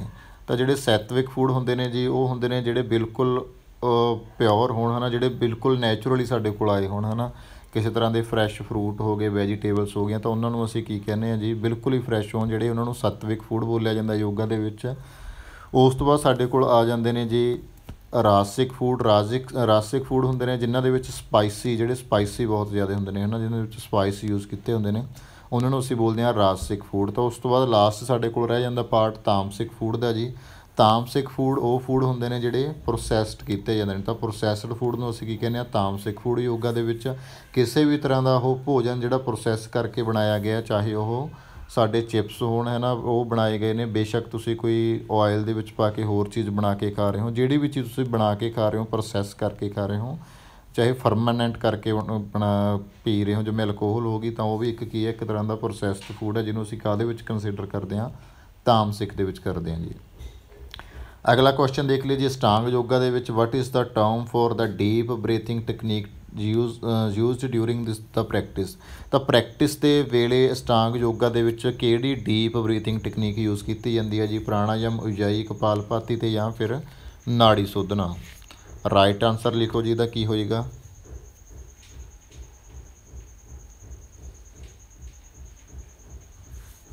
ਤੇ ਕਿੰਨੇ ਤੱਕ ਇਹ ਗੱਲ ਕਰ ਲਈਏ ਜੀ, ਜਿਹੜੇ ਪਹਿਲੇ ਚਾਰ ਪਾਰਟ ਨੇ ਸਟਾਂਗ ਯੋਗਾ ਦੇ, ਚਾਰ ਕਈ ਵਾਰ ਪੰਜ ਕਹਿ ਦਿੱਤਾ ਜਾਂਦਾ, ਇਹਨਾਂ ਨੂੰ ਬਾਹਰੀ ਅੰਗ ਆਖਿਆ ਜਾਂਦਾ ਹੈ। ਬਹਿਰੰਗਾ ਕਹਿ ਦਿੱਤਾ ਜਾਂਦਾ ਹੈ ਤੇ ਜਿਹੜੇ ਲਾਸਟ ਤਿੰਨ ਨੇ ਧਿਆਨ ਧਾਰਨਾ ਤੇ ਸਮਾਧੀ, ਉਹਨਾਂ ਨੂੰ ਅੰਤਰ ਅੰਗਾ ਆਖ ਦਿੱਤਾ ਜਾਂਦਾ ਹੈ ਜੀ ਯੋਗਾ ਦੇ ਵਿੱਚ। ਤੇ ਜਿਹੜਾ ਕਈ ਵਾਰ ਪ੍ਰਤੀਹਾਰ ਹੈ, ਕਈ ਲਿਟਰੇ ਬਹੁਤ ਸਾਰੇ ਲਿਟਰੇਚਰ ਦੇ ਵਿੱਚ ਉਹਨੂੰ ਇੱਕ ਬ੍ਰਿਜ ਲਿਖਿਆ ਹੋਇਆ, ਬਾਹਰੀ ਅੰਗ ਤੇ ਜਿਹੜੇ ਅੰਦਰੀ ਅੰਗ ਨੇ, ਉਹਨਾਂ ਦੇ, ਉਹਨਾਂ ਨੂੰ ਆਪਸ ਦੇ ਵਿੱਚ ਕਨੈਕਟ ਕਰਨ ਦੇ ਲਈ ਤੇ ਕਈ ਜਗ੍ਹਾ ਤੇ ਪ੍ਰਤੀਹਾਰ ਨੂੰ ਬਾਹਰੀ ਅੰਗ ਦਾ ਹੀ ਭਾਗ ਲਿਖਿਆ ਹੋਇਆ। ਤਾਂ ਇਹਦਾ ਰਾਈਟ ਆਨਸਰ ਆਊਗਾ ਜੀ ਆਪਸ਼ਨ ਬੀ ਉਚਾਈ ਪ੍ਰਾਣਾਯਾਮ। ਅਗਲੀ ਗੱਲ ਦੇਖ ਲਈਏ ਜੀ, ਵਿੱਚ ਚੱਕਰ ਹੈ ਜੇ ਐਸੋਸੀਏਟਡ ਵਿਦ ਦਾ ਸੂਰਯ ਨਮਸਕਾਰ। ਹੇਠ ਲਿਖਿਆਂ ਦੇ ਵਿੱਚੋਂ ਸੂਰਯ ਨਮਸਕਾਰ ਦੇ ਨਾਲ ਕਿਹੜਾ ਚੱਕਰ ਹੈ ਜਿਹੜਾ ਰਿਲੇਟ ਕਰਦਾ ਹੈ ਜੀ? ਰੂਟ ਚੱਕਰ ਸੋਲਰ ਪਲੈਕਸ ਚੱਕਰ ਹਾਰਟ ਚੱਕਰ ਤੇ ਜਾਂ ਫਿਰ ਕਰਾਊਨ ਚੱਕਰ। ਕਿਹੜਾ ਚੱਕਰ ਹੈ ਜਿਹੜਾ ਸੂਰਯ ਨਮਸਕਾਰ ਦੇ ਨਾਲ ਐਸੋਸੀਏਟ ਕਰਦਾ ਹੈ? ਸੂਰਯ ਨਮਸਕਾਰ ਜਿਹੜੇ ਦੇ ਵਿੱਚ 12 ਮੂਵਮੈਂਟਸ ਹੁੰਦੀਆਂ ਨੇ ਟੋਟਲ ਤੇ 8 ਆਸਨ ਹੁੰਦੇ ਨੇ। ਤਾਂ ਸੂਰਯ ਨਮਸਕਾਰ ਦੇ ਵਿੱਚ ਜਿਹੜਾ ਚੱਕਰ ਹੈ ਬੇਸਿਕਲੀ ਜਿਵੇਂ ਕਈ ਵਾਰ ਕੁੰਡਲਨੀ ਸ਼ਕਤੀ ਜ਼ਿਕਰ ਪੜੀ ਹੋਵੇ, ਤਾਂ ਉਹਦੇ ਜਿਵੇਂ ਚੱਕਰ ਹੁੰਦੇ ਨੇ, ਉਹਨਾਂ ਦੇ ਵਿੱਚੋਂ ਕਿਹੜੇ ਚੱਕਰ ਨੇ ਜਿਨ੍ਹਾਂ ਦੀ ਗੱਲ ਕੀਤੀ ਜਾ ਰਹੀ ਹੈ? ਜਾਂ ਹੋਰ ਵੀ ਕੁੰਡਲਨੀ ਤੋਂ ਬਿਨਾ ਵੀ ਯੋਗਾ ਦੇ ਵਿੱਚ ਬਹੁਤ ਸਾਰੇ ਚੱਕਰ ਨੇ ਜਿਹੜੇ ਉਹਨਾਂ ਦੀ ਗੱਲ ਕੀਤੀ ਜਾਂਦੀ ਹੈ, ਤਾਂ ਉਹਨਾਂ ਦੇ ਵਿੱਚੋਂ ਸੂਰਯ ਨਮਸਕਾਰ ਸੂਰਯ ਦੇ ਨਾਲ ਹੀ ਰਿਲੇਟਡ ਹੈ ਜੀ ਸੋਲਰ ਫਲੈਕਸ ਚੱਕਰ। ਆ ਤਾਂ ਜਿਹੜਾ ਸੂਰਯ ਨਮਸਕਾਰ ਨੂੰ ਸਨ ਸੋਲਿਊਸ਼ਨ ਵੀ ਕਹਿੰਦੇ ਨੇ ਕਿ ਸਾਨੂੰ ਸਲੂਟ ਕਰਦੇ ਅਸੀਂ, ਹਨਾ? ਤਾਂ ਇਹ ਮਨੀਪੁਰਾ ਜਿਹੜਾ ਹੈਗਾ ਜਾਂ ਸੋਲਰ ਪਲੈਕਸ ਚੱਕਰਾ ਕਹਿੰਦੇ ਨੇ ਇਹਨੂੰ, ਜਿਹੜਾ ਕਿ ਐਬਡੋਮੀਨਲ ਰੀਜਨ ਦੇ ਵਿੱਚ ਸਾਡੇ 'ਚ ਲੋਕੇਟਡ ਹੁੰਦਾ ਇਹ ਸਾਡੀ ਪਰਸਨਲ ਪਾਵਰ ਵਿਲ ਤੇ ਟਰਾਂਸਫੋਰਮੇਸ਼ਨ ਦਾ ਪ੍ਰਤੀਕ ਹੁੰਦਾ ਜੀ। ਤਾਂ ਜਿਹੜਾ ਸੂਰਯ ਨਮਸਕਾਰ ਹੈ, ਇਹਦੇ ਨਾਲ ਅਸੀਂ ਮਨੀਪੁਰ ਚੱਕਰ ਹੈ ਜਿਹੜਾ ਸਾਡਾ ਉਸ ਨੂੰ ਕੀ ਕਰ ਸਕਦੇ ਹਾਂ? ਬੈਲੈਂਸ ਕਰ ਸਕਦੇ ਹਾਂ ਕੌਨਫੀਡੈਂਸ ਇਨਕਰੀਜ਼ ਕਰ ਸਕਦੇ ਹਾਂ। ਤਾਂ ਇਹਦਾ ਆਨਸਰ ਆਏਗਾ ਜਿਹੜਾ ਉਹ ਸੋਲਰ ਪਲੈਕਸ ਆਏਗਾ, ਸੂਰਯ ਨਮਸਕਾਰ ਵਾਲਾ। ਨੈਕਸਟ ਕੁਐਸਚਨ ਦੇਖ ਲਈਏ ਜੀ, ਜਿਹੜਾ ਨਾੜੀ ਵਰਡ ਹੈ, ਨਾੜੀ ਸੋਧਨਾ ਇੱਕ ਪ੍ਰਾਣਾਯਾਮ ਹੈਗਾ ਨਾ। ਨਾੜੀ ਵਰਡ ਹੈ ਜਿਹੜਾ ਇਹ ਡਿਰਾਈਵ ਕੀਤਾ ਗਿਆ ਨਾੜ ਤੋਂ, ਜਿਹਦਾ ਮਤਲਬ ਹੈ to carry to run to flow ਤੇ ਜਾਂ ਫਿਰ ਟੂ ਬਲੋ ਰਾਈਟ ਆਨਸਰ ਕੀ ਹੈ ਜੀ? ਆਨਸਰ ਮਾਰਕ ਕਰੋ। ਦਾ ਵਰਡ ਨਾੜੀ ਹੈ ਜਿਹੜਾ ਨਾੜੀ ਸ਼ੋਧਨਾ ਨਾੜੀ ਹੈ ਜਿਹੜਾ ਉਹ ਨਾੜ ਸ਼ਬਦ ਤੋਂ ਲੈ ਗਿਆ ਸੰਸਕ੍ਰਿਤ ਦੇ ਤੋਂ। ਤਾਂ ਇਹਦਾ ਮਤਲਬ ਕੀ ਹੈ ਨਾੜੀ ਤੋਂ? ਨਾੜ ਤੋਂ। ਤੇ ਇਹਦਾ ਰਾਈਟ ਆਨਸਰ ਆਏਗਾ ਜੀ option D to flow sorry C option C to flow ਯਾਨੀ ਕਿ ਫਲੋ ਕਰਨਾ ਕਿਸੇ ਚੀਜ਼ ਦਾ ਫਲੋ ਹੋਣਾ, ਨਾੜੀ ਸੋਧਣਾ ਕਹਿੰਦੇ ਅਸੀਂ ਉਹਨੂੰ। ਅਗਲਾ ਸਵਾਲ ਦੇਖ ਲਈਏ ਜੀ ਰਫੇਜ ਹੈ ਜਿਹੜੀ roughage is also known as ਇਹ ਰਫਸ ਨੂੰ ਅਸੀਂ ਹੋਰ ਕੀ ਕਹਿੰਦੇ ਆ ਜੀ? Carbohydrates fibre protein or fat ਤਾਂ ਜਦੋਂ ਤੱਕ ਇਹਦਾ ਆਨਸਰ ਦੇ ਨੇ ਉਹ ਤੱਕ ਇਹ ਡਿਸਕਸ ਕਰ ਲਈਏ ਜੀ, ਜਿਹੜਾ ਬੈਲੈਂਸ ਡਾਈਟ ਹੁੰਦਾ ਹੈ, ਉਹਦੇ ਭਾਗ, ਉਹਨੂੰ ਅਸੀਂ ਦੋ ਭਾਗਾਂ ਦੇ ਵਿੱਚ ਡਿਵਾਈਡ ਕਰ ਸਕਦੇ ਹਾਂ macronutrient and micronutrient macronutrient ਨੇ ਜਿਹੜੇ ਸਾਡੇ ਉਹ ਹੈਗੇ ਨੇ ਪ੍ਰੋਟੀਨ ਹੈਗੇ ਹੈ ਜੀ ਫੈਟ ਹੈਗੀ ਅਤੇ ਸਾਡੇ ਕਾਰਬੋਹਾਈਡਰੇਟ ਹੈਗੇ ਨੇ। ਇਹਨਾਂ ਨੂੰ એનર્ਜੀ ਗਿਵਿੰਗ ਫੂਡ ਵੀ ਕਹਿ ਦਿੱਤਾ ਜਾਂਦਾ ਹੈ। ਦੂਜੇ ਪਾਸੇ ਸਾਡੇ ਮਾਈਕਰੋ ਨਿਊਟ੍ਰੀਐਂਟਸ ਰਹਿ ਜਾਂਦੇ ਨੇ ਜੀ। ਮਾਈਕਰੋ ਨਿਊਟ੍ਰੀਐਂਟਸ ਦੇ ਵਿੱਚ ਇੱਕ ਪ੍ਰੋਟੈਕਟਿਵ ਐਲੀਮੈਂਟਸ ਹੁੰਦੇ ਨੇ ਪ੍ਰੋਟੈਕਟਿਵ ਨਿਊਟ੍ਰੀਐਂਟਸ ਹੁੰਦੇ ਨੇ, ਇੱਕ ਟਰਾਂਸਪੋਰਟਿਵ ਨਿਊਟ੍ਰੀਐਂਟਸ ਹੁੰਦੇ ਨੇ। ਪ੍ਰੋਟੈਕਟਿਵ ਨਿਊਟ੍ਰੀਐਂਟਸ ਨੇ ਜਿਹੜੇ ਜਿਹੜੇ ਸਾਡੀ ਰੱਖਿਆ ਕਰਦੇ ਨੇ, ਉਹ ਖਣਿਜ ਪਦਾਰਥ ਤੇ ਵਿਟਾਮਿਨ ਹੁੰਦੇ ਨੇ ਜੀ ਤੇ ਜਿਹੜੇ ਟਰਾਂਸਪੋਰਟੇਬਲ ਹੁੰਦੇ ਨੇ, ਉਹ ਹੁੰਦੇ ਨੇ ਸਾਡੇ ਰਫੇਸ ਤੇ ਦੂਸਰਾ ਜਿਹਨੂੰ ਅਸੀਂ ਰਫੇਸ ਜਿਹਨੂੰ ਫੋਕਟ ਪਦਾਰਥ ਵੀ ਕਹਿ ਦਿੰਦੇ ਆ ਤੇ ਦੂਸਰਾ ਸਾਡਾ ਪਾਣੀ ਹੁੰਦਾ ਵਾਟਰ ਤਾਂ 1 ਗ੍ਰਾਮ ਚਰਬੀ ਹੈ ਜਿਹੜੀ ਸਾਨੂੰ ਉਹ 9 ਕੈਲਰੀ ਊਰਜਾ ਦਿੰਦੀ ਹੈ ਜੀ ਤੇ ਕਾਰਬੋਹਾਈਡਰੇਟ ਤੇ ਪ੍ਰੋਟੀਨ ਨੇ ਜਿਹੜੇ ਉਹ ਅਪਰੋਕਸੀਮੇਟਲੀ 4 ਕਿਲੋ ਕੈਲਰੀ ਦਿੰਦੇ ਨੇ ਸਾਨੂੰ 1 ਗ੍ਰਾਮ ਤੋਂ। ਤਾਂ ਇਹਦਾ ਰਾਈਟ ਆਨਸਰ ਰਫੇਜ ਦਾ ਆਏਗਾ ਜੀ ਫਾਈਬਰ ਤਾਂ ਇਹਨੂੰ ਅਸੀਂ ਰਫੇਜ ਨੂੰ ਫਾਈਬਰ ਵੀ ਕਹਿ ਦਿੰਦੇ ਆ ਅਗਲਾ ਕੁਐਸਚਨ ਦੇਖ ਲਈਏ ਜੀ which type of white blood cell is responsible for producing antibodies ਤਾਂ ਹੇਠ ਲਿਖੇ ਜਿਹੜੇ ਭਾਗ ਨੇ, ਤਾਂ ਪੰਜ ਭਾਗ ਹੁੰਦੇ ਨੇ ਵਾਈਟ ਬਲੱਡ ਸੈਲ ਦੇ ਜੀ। ਪੰਜ ਭਾਗਾਂ ਦੇ ਵਿੱਚੋਂ ਇਹ ਚਾਰ ਦਿੱਤੇ ਹੋਏ ਨੇ ਸੀ ਨੇ। ਚਾਰ ਦੇ ਵਿੱਚੋਂ ਕਿਹੜਾ ਭਾਗ ਹੈਗਾ ਜਿਹੜਾ ਐਂਟੀਬਾਡੀਜ਼ ਪ੍ਰੋਡਿਊਸ ਕਰਦਾ ਹੈ ਬਿਮਾਰੀਆਂ ਦੇ ਨਾਲ ਲੜਨ ਦੇ ਲਈ? ਰਾਈਟ ਆਨਸਰ ਮਾਰਕ ਕਰੋ ਜੀ, ਕੀ ਹੋਏਗਾ? ਤਾਂ ਸਾਨੂੰ ਨਾਲ ਦੀ ਨਾਲ ਜੇ ਕਮੈਂਟ ਕਰਕੇ ਦੱਸਣਾ, ਕਰ ਦੱਸ ਸਕਦੇ ਹੋ, ਪਰ ਲਾਸਟ ਦੇ ਉੱਪਰ ਸਾਨੂੰ ਸਾਡਾ ਕੰਪਾਈਲਡ ਸਕੋਰ ਹੈ ਜਿਹੜਾ ਉਹ ਜ਼ਰੂਰ ਸ਼ੇਅਰ ਕਰਿਓ ਸਾਰੇ। ਤਾਂ ਵਾਈਟ ਬਲੱਡ ਸੈੱਲ ਦੇ ਵਿੱਚ ਕਿਹੜਾ ਜਿਹੜਾ ਐਂਟੀਬਾਡੀਜ਼ ਪ੍ਰੋਡਿਊਸ ਕਰਦਾ ਕਿਹੜਾ ਭਾਗ ਹੈ ਉਹ, ਤਾਂ ਰਾਈਟ ਆਨਸਰ ਹੈਗਾ ਜੀ ਆਪਸ਼ਨ ਡੀ ਲਿੰਫੋਸਾਈਟ ਅਗਲੇ ਸਵਾਲ ਤੇ ਜਾਂਦੇ ਆ ਜੀ which vitamin deficiency is associated with beriberi ਤਾਂ ਹੇਠ ਲਿਖਿਆਂ ਦੇ ਵਿੱਚੋਂ ਬੇਰੀਬੇਰੀ ਰੋਗ ਹੈ ਜਿਹੜਾ, ਉਹ ਕਿਹੜੇ ਵਿਟਾਮਿਨ ਦੀ ਘਾਟ ਨਾਲ ਹੁੰਦਾ ਜੀ, ਵਿਟਾਮਿਨ ਏ ਦੀ ਨਾਲ, ਵਿਟਾਮਿਨ B1 ਦੀ ਨਾਲ, ਵਿਟਾਮਿਨ B12 ਦੇ ਨਾਲ ਤੇ ਜਾਂ ਫਿਰ ਵਿਟਾਮਿਨ ਸੀ ਦੇ ਨਾਲ? ਤਾਂ ਲਾਸਟ ਪੇਪਰ ਦੇ ਵਿੱਚ ਕੁਐਸਚਨ ਆਇਆ ਸੀ, ਅੰਧਰਾਤਾ ਰੋਗ ਨਾਈਟ ਬਲਾਈਂਡਨੈਸ ਕਿਹਦੇ ਨਾਲ ਹੁੰਦਾ ਵਿਟਾਮਿਨ ਏ ਦੇ ਨਾਲ ਹੁੰਦਾ ਜੀ। ਸਕਰਵੀ ਰੋਗ ਹੈ ਜਿਹੜਾ, ਉਹ ਹੁੰਦਾ ਵਿਟਾਮਿਨ ਸੀ ਦੀ ਘਾਟ ਦੇ ਨਾਲ, ਵਿਟਾਮਿਨ ਡੀ ਦੇ ਘਾਟ ਦੇ ਨਾਲ, ਰਿਕਟਸ ਰੋਗ ਹੋ ਜਾਂਦਾ ਹੈ। ਵਿਟਾਮਿਨ ਈ ਦੀ ਘਾਟ ਦੇ ਨਾਲ ਜੀ ਵੂਮੈਨਸ ਨੇ ਜਿਹੜੀਆਂ ਉਹਨਾਂ ਨੂੰ ਪ੍ਰੈਗਨੈਂਸੀ ਦੀ ਪ੍ਰੋਬਲਮ ਆ ਜਾਂਦੀ ਹੈ, ਜਿਹੜੀਆਂ ਮੀਂਹ ਤੇ ਫਿਨ, ਮੂੰਹ ਤੇ ਫਿੰਸੀਆਂ ਵਗੈਰਾ ਹੁੰਦੀਆਂ ਨੇ, ਉਹ ਵਿਟਾਮਿਨ ਈ ਦੀ ਘਾਟ ਕਰਕੇ ਹੋ ਜਾਂਦੀਆਂ ਨੇ ਤੇ ਵਿਟਾਮਿਨ ਕੇ ਹੈ ਜਿਹੜਾ ਉਹਦੀ ਘਾਟ ਕਰਕੇ ਸਾਡਾ ਖੂਨ ਹੈ ਜਿਹੜਾ ਉਹ ਜੰਮਣੋਂ ਹਟ ਜਾਂਦਾ ਤਾਂ ਸਾਡਾ ਬੇਰੀ ਬੇਰੀ ਰੋਗ ਕਿਹੜੇ ਨਾਲ ਹੁੰਦਾ ਹੈ? ਕਿਉਂਕਿ B1 ਨੂੰ B ਕੰਪਲੈਕਸ ਬੋਲਿਆ ਜਾਂਦਾ, ਇਹਦੇ ਵਿੱਚ B1 B2 B3 B5 B6 B7 B9 ਤੇ B12 ਇਹ ਵਿਟਾਮਿਨਸ ਦੀਆਂ ਟਾਈਪਸ ਹੁੰਦੀਆਂ ਨੇ ਵਿਟਾਮਿਨ B ਕੰਪਲੈਕਸ ਤਾਂ ਕਰਕੇ ਕਿਹਾ ਜਾਂਦਾ। ਤਾਂ ਬੇਰੀ ਬੇਰੀ ਰੋਗ ਹੈ ਜੀ, ਉਹ ਕਿਹਦੇ ਕਰਕੇ ਹੁੰਦਾ? ਵਿਟਾਮਿਨ B1 ਜਿਹਨੂੰ ਅਸੀਂ ਥੀਆਮਿਨ ਵੀ ਕਹਿ ਦਿੰਦੇ ਆ ਤਾਂ B ਤੇ C ਨੇ ਜਿਹੜੇ ਉਹ ਪਾਣੀ ਦੇ ਵਿੱਚ ਘੁਲਣਸ਼ੀਲ ਹੁੰਦੇ ਨੇ ਜੀ, A, D E ਤੇ K ਨੇ ਜਿਹੜੇ ਉਹ ਚਰਬੀ ਦੇ ਵਿੱਚ ਘੁਲਣਸ਼ੀਲ ਹੁੰਦੇ ਨੇ। ਤਾਂ ਇੱਕ ਇਹਦਾ ਵੱਡਾ ਕਾਰਨ ਕੀ ਹੁੰਦਾ ਕਿ ਇਹਦਾ ਕਾਰਨ ਹੁੰਦਾ ਇੱਕ ਕਿ ਜਿਹੜੇ ਪਾਣੀ ਦੇ ਵਿੱਚ ਘੁਲਣਸ਼ੀਲ ਨੇ, ਉਹ ਤੁਹਾਨੂੰ ਡੇਲੀ ਬੇਸਿਸ ਤੇ ਲੈਣੇ ਪੈਂਦੇ ਨੇ ਵਿਟਾਮਿਨ ਬੀ ਤੇ ਸੀ ਉਹਨਾਂ ਨੂੰ ਤੁਸੀਂ ਸਟੋਰ ਕਰਕੇ ਨਹੀਂ ਰੱਖ ਸਕਦੇ। ਫੈਟ ਸੋਲੇਬਲ ਦਾ ਮਤਲਬ ਕਿ ਜਿਹੜੇ ਏ ਡੀ ਈ ਤੇ ਕੇ ਨੇ, ਉਹ ਫੈਟ ਦੇ ਵਿੱਚ ਸਟੋਰ ਰਹਿ ਸਕਦੇ ਨੇ। ਅਗਲੇ ਕੁਐਸਚਨ ਦੀ ਗੱਲ ਕਰ ਲਈਏ ਜੀ when was the flag for free India adopted free India ਦੇ ਲਈ ਫਲੈਗ ਸੀ ਜਿਹੜਾ ਕਦੋਂ ਅਡਾਪਟ ਕੀਤਾ ਗਿਆ ਜੀ? ਆਪਸ਼ਨ ਹੈਗੀ ਆ 22 ਜੁਲਾਈ 1947 26 ਜਨਵਰੀ 1950 15 ਅਗਸਤ 1947 ਤੇ ਜਾਂ ਫਿਰ 30 ਜਨਵਰੀ 1950 ਫਲੈਗ ਕਦੋਂ ਅਡਾਪਟ ਕੀਤਾ ਗਿਆ ਸੀਗਾ ਇੰਡੀਆ ਦੇ ਦੁਆਰਾ ਜੀ? ਆਫੀਸ਼ੀਅਲੀ ਦਾ ਰਾਈਟ ਆਨਸਰ ਹੈਗਾ ਜੀ ਆਪਸ਼ਨ ਏ 22 ਜੁਲਾਈ 1947 ਅਗਲਾ ਕੁਐਸਚਨ ਦੇਖ ਲਈਏ ਜੀ what is the official colour of Ashoka Chakra on Indian national flag ਤਾਂ ਭਾਰਤ ਦਾ ਜਿਹੜਾ ਨੈਸ਼ਨਲ ਫਲੈਗ ਹੈ, ਤਾਂ ਉਹਦੇ ਉੱਪਰ ਜਿਹੜਾ ਅਸ਼ੋਕ ਚੱਕਰ ਬਣਿਆ ਹੋਇਆ ਜੀ, ਉਹਦਾ ਰੰਗ ਕਿਹੜਾ ਹੈ? ਬਲੂ ਸੈਫਰਨ ਨੇਵੀ ਬਲੂ ਤੇ ਜਾਂ ਫਿਰ ਗ੍ਰੀਨ ਤਾਂ ਅਸ਼ੋਕ ਚੱਕਰ ਜਿਹੜੀ ਦੀ ਗੱਲ ਕਰ ਲਈਏ ਜੀ, ਇਹ ਸਾਰਨਾਥ ਵਿਖੇ ਇਹਨਾਂ ਨੇ ਬਣਵਾਇਆ ਸੀ, ਤਾਂ ਇਹ ਬਣਵਾਇਆ ਸੀ, ਪਹਿਲਾਂ ਵੀ ਗੱਲ ਕੀਤੀ ਸੀ, ਮਹਾਤਮਾ ਬੁੱਧ ਜਿਹੜੇ ਜਿਨ੍ਹਾਂ ਦਾ ਅਸਲੀ ਨਾਮ ਸੀਗਾ ਜਿਹੜਾ ਉਹ ਸ- ਸਿਧਾਰਥ ਸੀਗਾ। ਤਾਂ ਜਦੋਂ ਉਹ ਗੌਤਮ ਬੁੱਧ ਬਣਦੇ ਨੇ, ਜਦੋਂ ਉਹਨਾਂ ਨੂੰ ਗਿਆਨ ਦੀ ਪ੍ਰਾਪਤੀ ਹੁੰਦੀ ਹੈ, ਬਿਹਾਰ ਦੇ ਵਿੱਚ ਗਿਆ ਨਾਂ ਦੇ ਸਥਾਨ ਤੇ, ਤਾਂ ਉੱਥੋਂ ਉਹ ਗਿਆਨ ਦੀ ਪ੍ਰਾਪਤੀ ਤੋਂ ਬਾਅਦ ਵਾਪਸ ਪਰਤਦੇ ਨੇ ਸਾਰਨਾਥ ਵਿਖੇ। ਤਾਂ ਉਸ ਚੀਜ਼ ਨੂੰ ਕਮਰੇਟ ਕਰਨ ਦੇ ਲਈ ਇਹ ਜਿਹੜਾ ਚੱਕਰ ਸੀਗਾ, ਅਸ਼ੋਕਾ ਦੇ ਦੁਆਰਾ ਬਣਵਾਇਆ ਗਿਆ ਸੀਗਾ।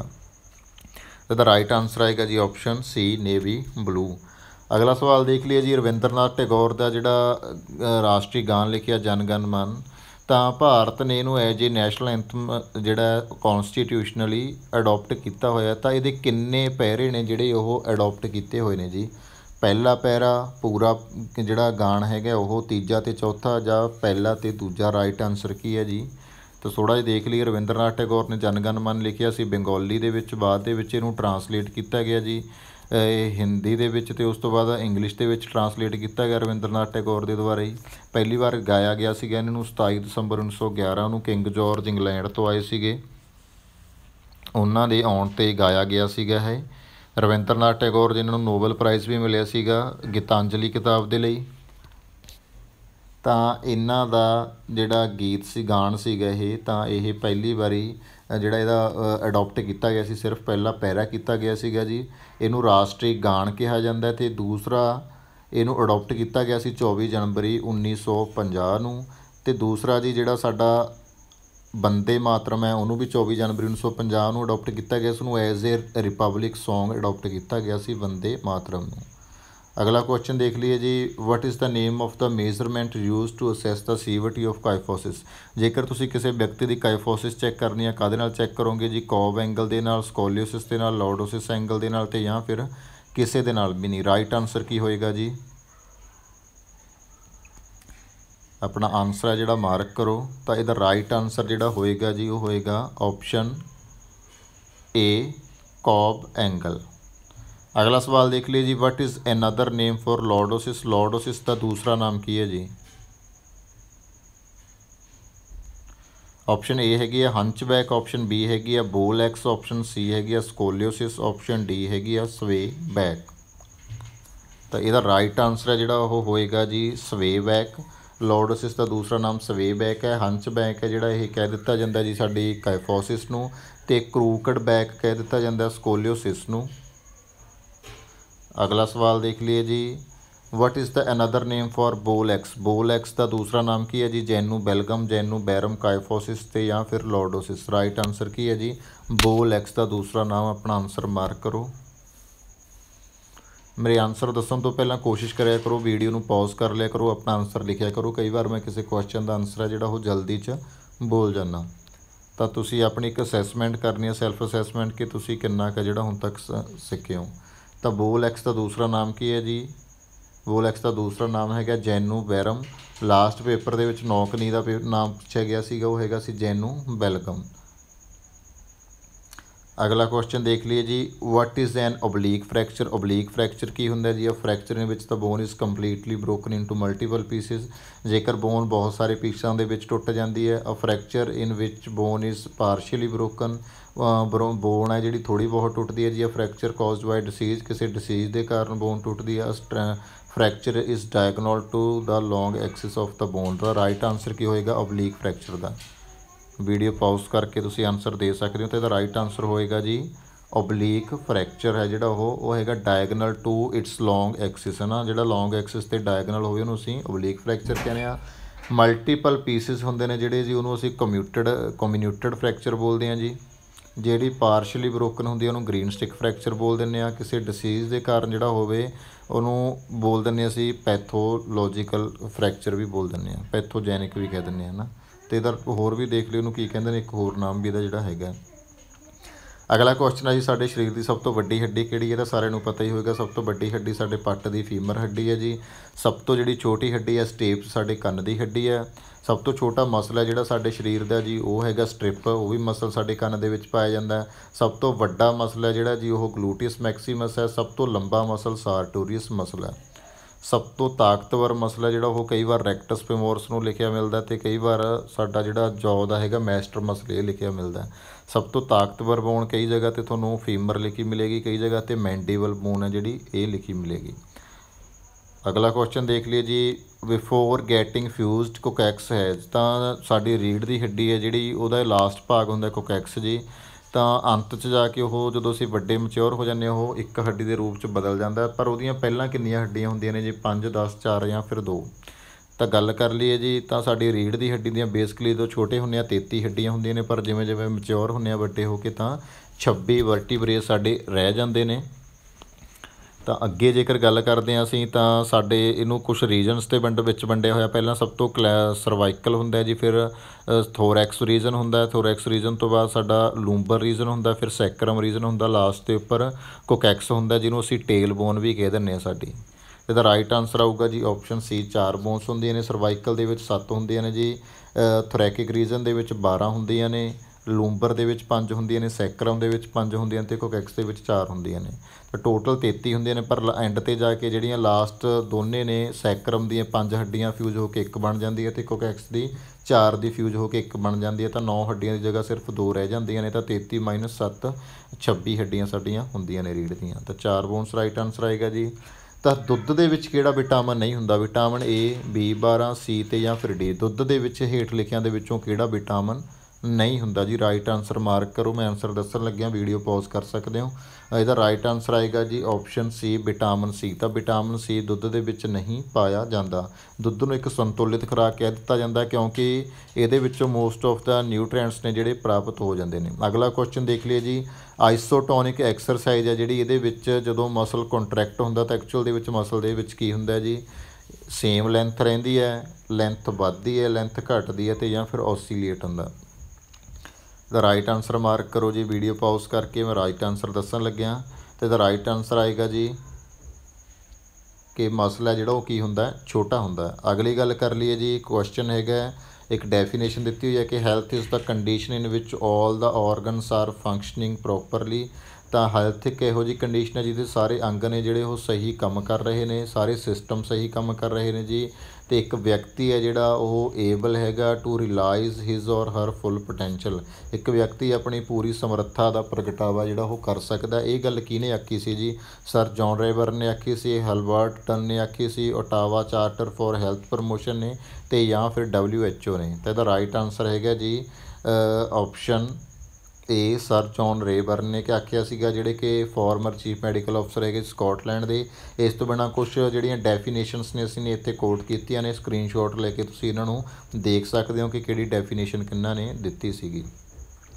ਅਗਲਾ ਕੁਐਸਚਨ ਦੇਖ ਲਈਏ ਜੀ, ਕਿਸ ਤਰ੍ਹਾਂ ਦੀ ਡਾਇਬਟੀਜ਼ ਨੂੰ ਸਲੋ ਕਿਲਰ ਆਖਿਆ ਜਾਂਦਾ ਟਾਈਪ 1 ਟਾਈਪ 2 ਟਾਈਪ 3 ਜਾਂ ਟਾਈਪ 4 ਕਿਸ ਤਰ੍ਹਾਂ ਦੀ ਡਾਇਬਟੀਜ਼ ਨੂੰ ਸਲੋ ਕਿਲ ਰੱਖਿਆ ਜਾਂਦਾ ਜੀ ਰਾਈਟ ਆਨਸਰ ਮਾਰਕ ਕਰੋ, ਮੈਂ ਆਨਸਰ ਦੱਸਣ ਲੱਗਿਆ। ਵੀਡੀਓ ਪੌਜ਼ ਕਰਕੇ। ਤਾਂ ਰਾਈਟ ਆਨਸਰ ਇਹਦਾ ਹੈਗਾ ਜੀ option 2 type 2 diabetes option 2 right answer ਹੈ ਜੀ ਟਾਈਪ 2 ਡਾਇਬਟੀਜ਼ ਆਖਿਆ ਜਾਂਦਾ ਅਗਲਾ ਕੁਐਸਚਨ ਦੇਖ ਲਈਏ ਜੀ which play theory emphasises the idea that play is a way for animal and humans to release pent up emotion and tension ਤਾਂ ਜੇ ਕਿਹੜੀ ਪਲੇ ਦੀ ਥਿਊਰੀ ਕਹਿੰਦੀ ਹੈ ਕਿ ਖੇਡਣ ਦੇ ਨਾਲ ਚਾਹੇ ਉਹ ਜਾਨਵਰ ਹੋਣ, ਚਾਹੇ ਮਨੁੱਖ ਹੋਣ, ਤਾਂ ਉਹ ਕੀ ਕਰਦੇ ਨੇ? ਆਪਣੇ ਇਮੋਸ਼ਨ ਤੇ ਟੈਨਸ਼ਨਸ ਨੂੰ ਰਿਲੀਜ਼ ਕਰਦੇ ਨੇ। ਕਿਹੜੀ ਥਿਊਰੀ ਇਹਦਾ ਪ੍ਰਗਟਾਵਾ ਕਰਦੀ ਹੈ? Recapitulation catharsis pre exercise theory ਤੇ ਜਾਂ ਫਿਰ ਹੈਡੋਨਿਸਟਿਕ ਥਿਊਰੀ ਤੇ ਦਾ ਰਾਈਟ ਆਨਸਰ ਆਏਗਾ ਜੀ ਕੈਥਾਰਸਿਸ ਥਿਊਰੀ ਜਿਹੜੀ ਕਿ ਐਰਿਸਟੋਟਲ ਨੇ ਦਿੱਤੀ ਸੀ ਜੀ। ਤਾਂ ਉਸ ਤੋਂ ਬਾਅਦ ਪਲੇ ਦੀਆਂ ਇਹ ਕੁਝ ਥਿਉਰੀਆਂ ਹੈਗੀਆਂ ਨੇ, ਦੇਖ ਸਕਦੇ ਹੋ ਸਰਪਲਸ એનર્ਜੀ ਥਿਊਰੀ ਸਪੈਂਸਰ ਨੇ ਦਿੱਤੀ ਸੀ ਐਂਟੀਸਪੇਸ਼ਨ ਕਾਰਲ ਗਰੂਸ ਨੇ ਦਿੱਤੀ ਸੀ ਰਿਕੈਪਚੂਲੇਸ਼ਨ ਸਟੈਨਲੇ ਹਾਲ ਨੇ ਦਿੱਤੀ ਸੀ ਰੀਕ੍ਰੀਏਸ਼ਨ ਲਾਰਡ ਕੇਮਸ ਤੇ ਪੈਟ੍ਰਿਕ ਨੇ ਦਿੱਤੀ ਸੀ ਜੀ ਕੈਥਾਰਸਿਸ ਥਿਊਰੀ ਐਰਿਸਟੋਟਲ ਦੀ ਹੈ ਸਾਈਕੋਐਨਾਲਿਟਿਕ ਸਿਗਮੰਡ ਫ੍ਰੀਡ ਦੀ ਤੇ ਇਨਸਟਿੰਕਟ ਥਿਊਰੀ ਹੈਗੀ ਹੈ ਮੈਕ ਦੁੱਗਲ ਦੀ। ਅਗਲਾ ਸਵਾਲ ਦੇਖ ਲਈਏ ਜੀ according to Kretschmer theory Kretschmer the theory ਦੇ ਅਨੁਸਾਰ ਵਿੱਚ body type is characterised by a round or pear shaped body round ਤੇ ਪੀਅਰ ਸ਼ੇਪਡ ਬਾਡੀ ਹੁੰਦੀ ਹੈ ਜੀ। With the tendency toward overweight overweight ਹੋ ਸਕਦਾ ਉਹਨਾਂ 'ਚ। ਤਾਂ ਉਹਨੂੰ ਅਸੀਂ ਕਿਹੜੀ ਪਰਸਨੈਲਿਟੀ ਆਖਾਂਗੇ ਜੀ? ਆਖਾਂਗੇ ਜੀ pyknic asthenic athletic right answer ਕੀ ਹੋਏਗਾ ਜੀ? ਤਾਂ ਕ੍ਰੈਸਟਮਰ ਇਹਨਾਂ ਨੇ ਵੀ ਬੋਡੀ ਟਾਈਪ ਦਿੱਤੀ ਹੈ, ਸ਼ੈਲਡਨ ਨੇ ਵੀ ਬੋਡੀ ਟਾਈਪ ਦਿੱਤੀ ਸੀ ਜੀ, ਸੈਲਡਨ ਨੇ ਤਿੰਨ ਤਰ੍ਹਾਂ ਦੀ ਬੋਡੀ ਦੱਸੀ ਸੀ, ਇਹਨਾਂ ਨੇ ਚਾਰ ਤਰ੍ਹਾਂ ਦੀ ਬੋਡੀ ਦੱਸੀ ਸੀ ਤੇ ਦਾ ਰਾਈਟ ਆਨਸਰ ਆਏਗਾ ਜੀ ਆਪਸ਼ਨ ਏ ਪਾਈਕਨਿਕ ਤਾਂ ਇਸ ਵੀਡੀਓ ਦੇ ਵਿੱਚ ਤੁਸੀਂ ਦੇਖ ਸਕਦੇ ਹੋ, ਸ਼ੈਲਡਨ ਦੀਆਂ ਵੀ ਤਿੰਨੇ ਦਿੱਤੀਆਂ ਹੋਈਆਂ ਨੇ ਤੇ ਕ੍ਰੈਸਟਮਰ ਦੀਆਂ ਵੀ ਚਾਰੇ ਨੇ ਜਿਹੜੀਆਂ ਉਹ ਦਿੱਤੀਆਂ ਹੋਈਆਂ ਨੇ ਜੀ। ਤਾਂ ਇਹਨਾਂ ਦੇ ਵਿੱਚ ਤੁਸੀਂ ਇੱਕ ਵਾਰ ਦੇਖ ਸਕਦੇ ਹੋ ਕਿਹੜੇ ਨੇ ਕਿਹੜੀ ਦਿੱਤੀ ਹੈ ਤੇ ਉਹਨਾਂ ਦਾ ਮਤਲਬ ਕੀ ਹੈਗਾ। ਅਗਲਾ ਕੁਐਸਚਨ ਦੇਖ ਲਈਏ ਜੀ what is the primary cause of lactic acid build up in the muscles during exercise ਤਾਂ ਜਦੋਂ ਤੁਸੀਂ ਐਕਸਰਸਾਈਜ਼ ਕਰਦੇ ਹੋ ਤਾਂ ਸਾਡੇ ਮਸਲਾਂ ਦੇ ਵਿੱਚ ਲੈਕਟਿਕ ਐਸਿਡ ਕਿਉਂ ਬਣਦਾ ਜੀ? ਆਕਸੀਜਨ ਦੀ ਘਾਟ ਕਰਕੇ ਗਲੂਕੋਜ਼ ਦੀ ਘਾਟ ਕਰਕੇ, ਪਾਣੀ ਦੀ ਘਾਟ ਕਰਕੇ ਤੇ ਜਾਂ ਫਿਰ ਪ੍ਰੋਟੀਨ ਦੀ ਘਾਟ ਕਰਕੇ। ਕਿਹਦੀ ਘਾਟ ਕਰਕੇ ਲੈਕਟਿਕ ਐਸਿਡ ਬਣਦਾ ਲੈਕਟਿਕ ਐਸਿਡ ਬਾਰੇ ਗੱਲ ਕਰ ਲਈਏ ਜੀ ਤਾਂ ਮੋਸਟਲੀ ਜਦੋਂ ਤੁਸੀਂ ਕਿਸੇ ਵੀ ਐਨਾਰੋਬਿਕ ਐਕਟੀਵਿਟੀ ਦੇ ਵਿੱਚ ਇਨਵੋਲਵ ਹੁੰਦੇ ਹੋ ਤਾਂ ਉਦੋਂ ਲੈਕਟਿਕ ਐਸਿਡ ਹੈ ਜਿਹੜਾ ਉਹ ਫਾਰਮ ਹੁੰਦਾ ਜਿਹਦੇ ਕਰਕੇ ਤੁਹਾਨੂੰ ਉਹ ਐਕਟੀਵਿਟੀ ਹੈ ਜਿਹੜੀ ਉਹ ਰੋਕਣੀ ਪੈਂਦੀ ਹੈ। ਤਾਂ ਲੈਕਟਿਕ ਐਸਿਡ ਨੂੰ ਰਿਮੂਵ ਹੋਣ ਨੂੰ ਲਗਭਗ 20 ਮਿੰਟ ਲੱਗ ਜਾਂਦੇ ਨੇ ਤੇ ਲੈਕਟਿਕ ਐਸਿਡ ਹੈ ਜਿਹੜਾ ਇਹਨੂੰ ਰਿਮੂਵ ਕਰਨ ਵਾਸਤੇ ਥੋੜਾ ਰੈਸਟ ਕਰਨਾ ਜ਼ਰੂਰੀ ਹੈ। ਰੈਸਟ ਕਰਨ ਦੇ ਨਾਲ ਲੈਕਟਿਕ ਐਸਿਡ ਨੂੰ ਰਿਮੂਵ ਕੀਤਾ ਜਾ ਸਕਦਾ ਤਾਂ ਇਹਦਾ ਫਾਰਮੂਲਾ ਵੀ ਹੁੰਦਾ ਇੱਕ ਫਾਰਮੂਲਾ ਚੈੱਕ ਕਰ ਲਿਓ ਮੇਰਾ ਖਿਆਲ ਹੈ। ਫਾਰਮੂਲਾ ਇਹਦਾ ਹੈਗਾ ਕਾਰਬਨ 12 ਹੁੰਦੇ ਨੇ। ਆਕਸੀਜਨ ਨੇ ਜਿਹੜੇ ਉਹ ਸ਼ਾਇਦ 6 ਤੇ ਨਹੀਂ ਹਾਈਡਰੋਜਨ 6 ਤੇ ਆਕਸੀਜਨ 12 ਸ਼ਾਇਦ ਇਹ ਫਾਰਮੂਲਾ ਹੁੰਦਾ, ਇੱਕ ਵਾਰ ਕ੍ਰੋਸ ਚੈੱਕ ਵੀ ਕਰ ਲਿਓ। ਵੈਸੇ ਫਾਰਮੂਲਾ ਆਪਾਂ ਨੂੰ ਪੇਪਰ ਦੇ ਵਿੱਚ ਪੁੱਛਿਆ ਨਹੀਂ ਜਾਏਗਾ। ਤਾਂ ਲੈਕਟਿਕ ਐਸਿਡ ਬਣਨ ਦਾ ਕਾਰਨ ਹੁੰਦਾ ਜੀ ਆਕਸੀਜਨ ਦੀ ਘਾਟ, ਕਿਉਂਕਿ ਜੇਕਰ ਸਾਨੂੰ ਆਕਸੀਜਨ ਪੂਰੀ ਮਿਲਦੀ ਰਹੇ ਤਾਂ ਪਾਈ, ਬੇਸਿਕਲੀ ਲੈਕਟਿਕ ਐਸਿਡ ਬਣਦਾ ਜੀ ਪਾਇਰੋਬਿਕ ਐਸਿਡ ਤੋਂ। ਜੇਕਰ ਆਕਸੀਜਨ ਸਾਡੇ ਕੋਲ ਪੂਰੀ ਹੋਵੇ, ਤਾਂ ਪਾਇਰੋਬਿਕ ਐਸਿਡ ਹੈ ਜਿਹੜਾ, ਉਹ ਅਲਗਰੇ ਕ੍ਰੈਬ ਸਾਈਕਲ ਦੇ ਵਿੱਚ, ਅਗਲੇ એનર્ਜੀ ਸਿਸਟਮ ਦੇ ਵਿੱਚ ਰਹਿ ਜਾਂਦਾ, ਲੈਕਟਿਕ ਐਸਿਡ ਉਹ ਤੋਂ ਫਾਰਮ ਨਹੀਂ ਹੁੰਦਾ।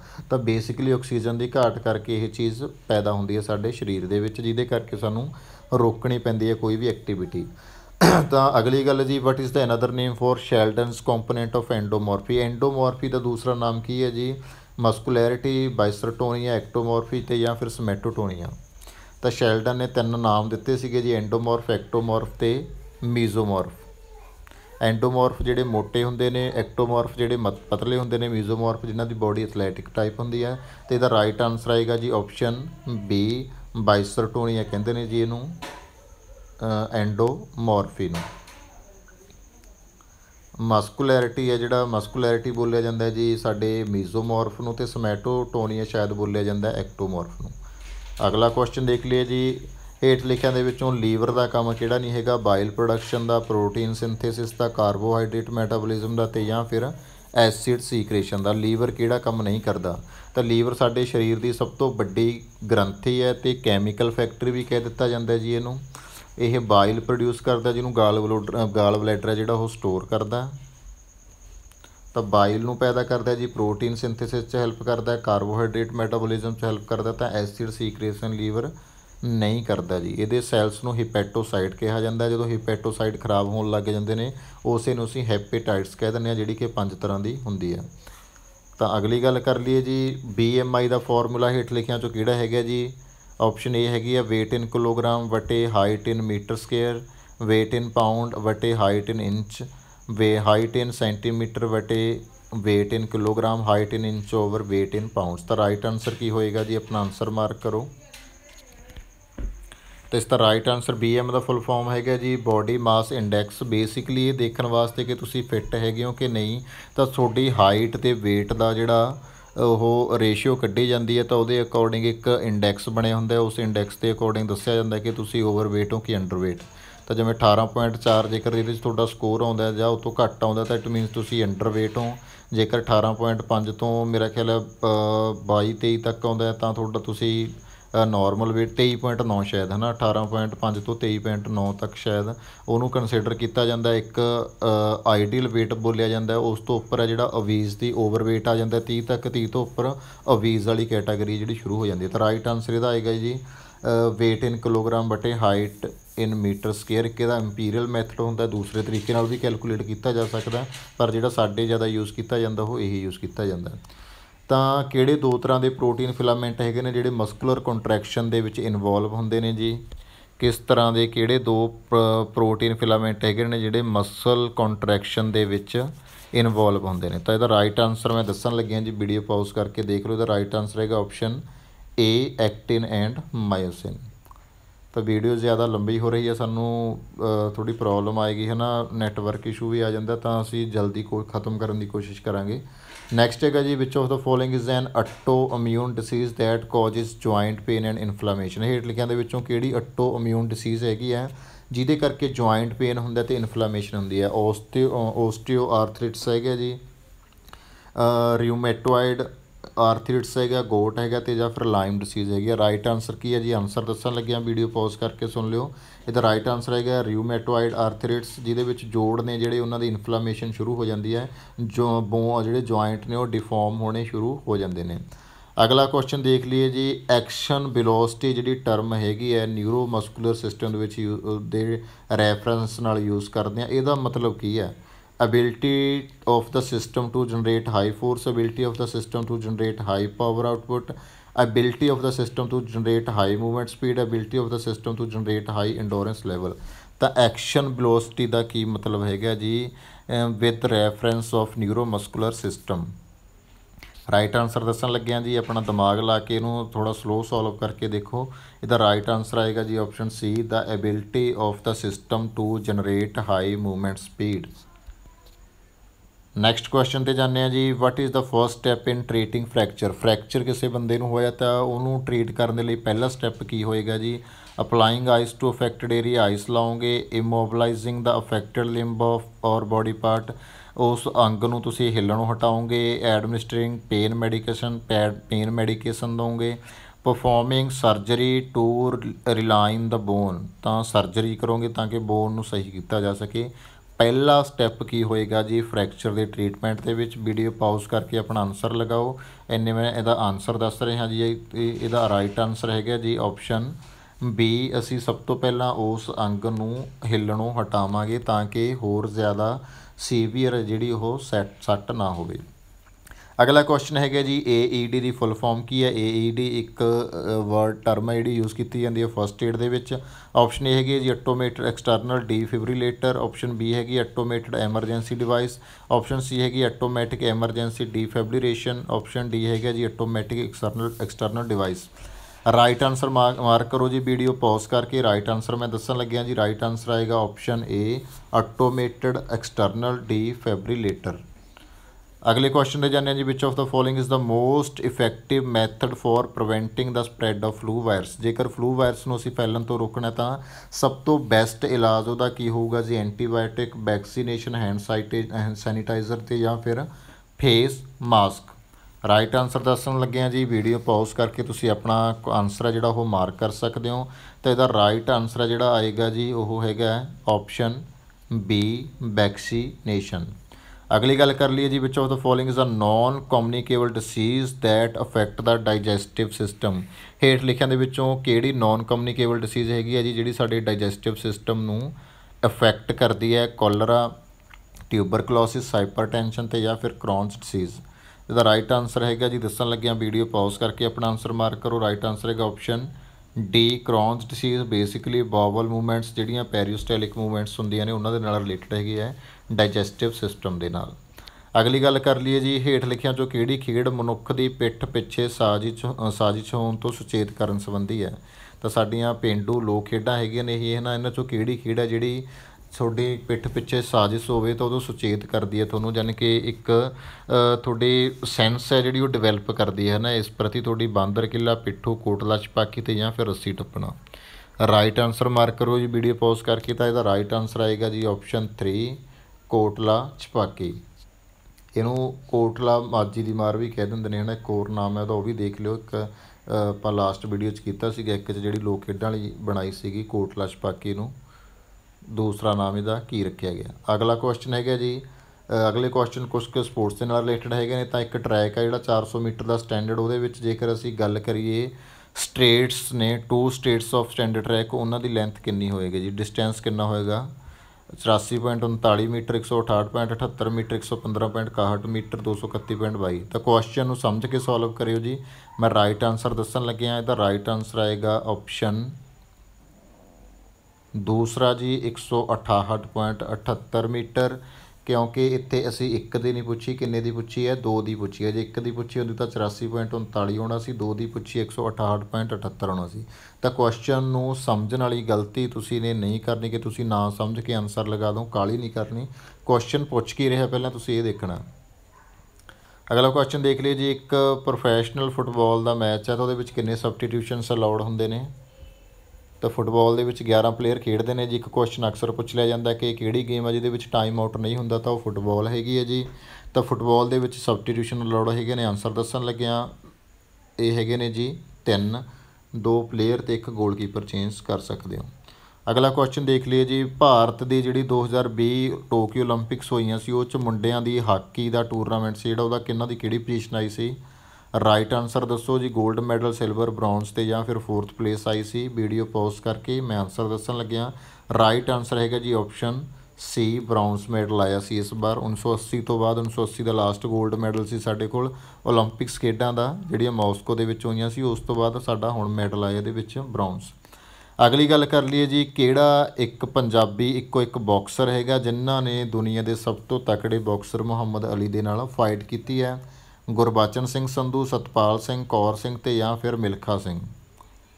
ਤਾਂ ਰਾਈਟ ਆਨਸਰ ਜੀ, ਇਹ ਕੁਐਸਚਨ ਅਸੀਂ ਨੇ ਪਾਇਆ ਕਿ ਇਹਨਾਂ ਦੀ ਪਿੱਛੇ ਜੀ ਹੁਣ ਡੈਥ ਹੋਈ ਹੈ ਮੇਰਾ ਖਿਆਲ ਹੈ।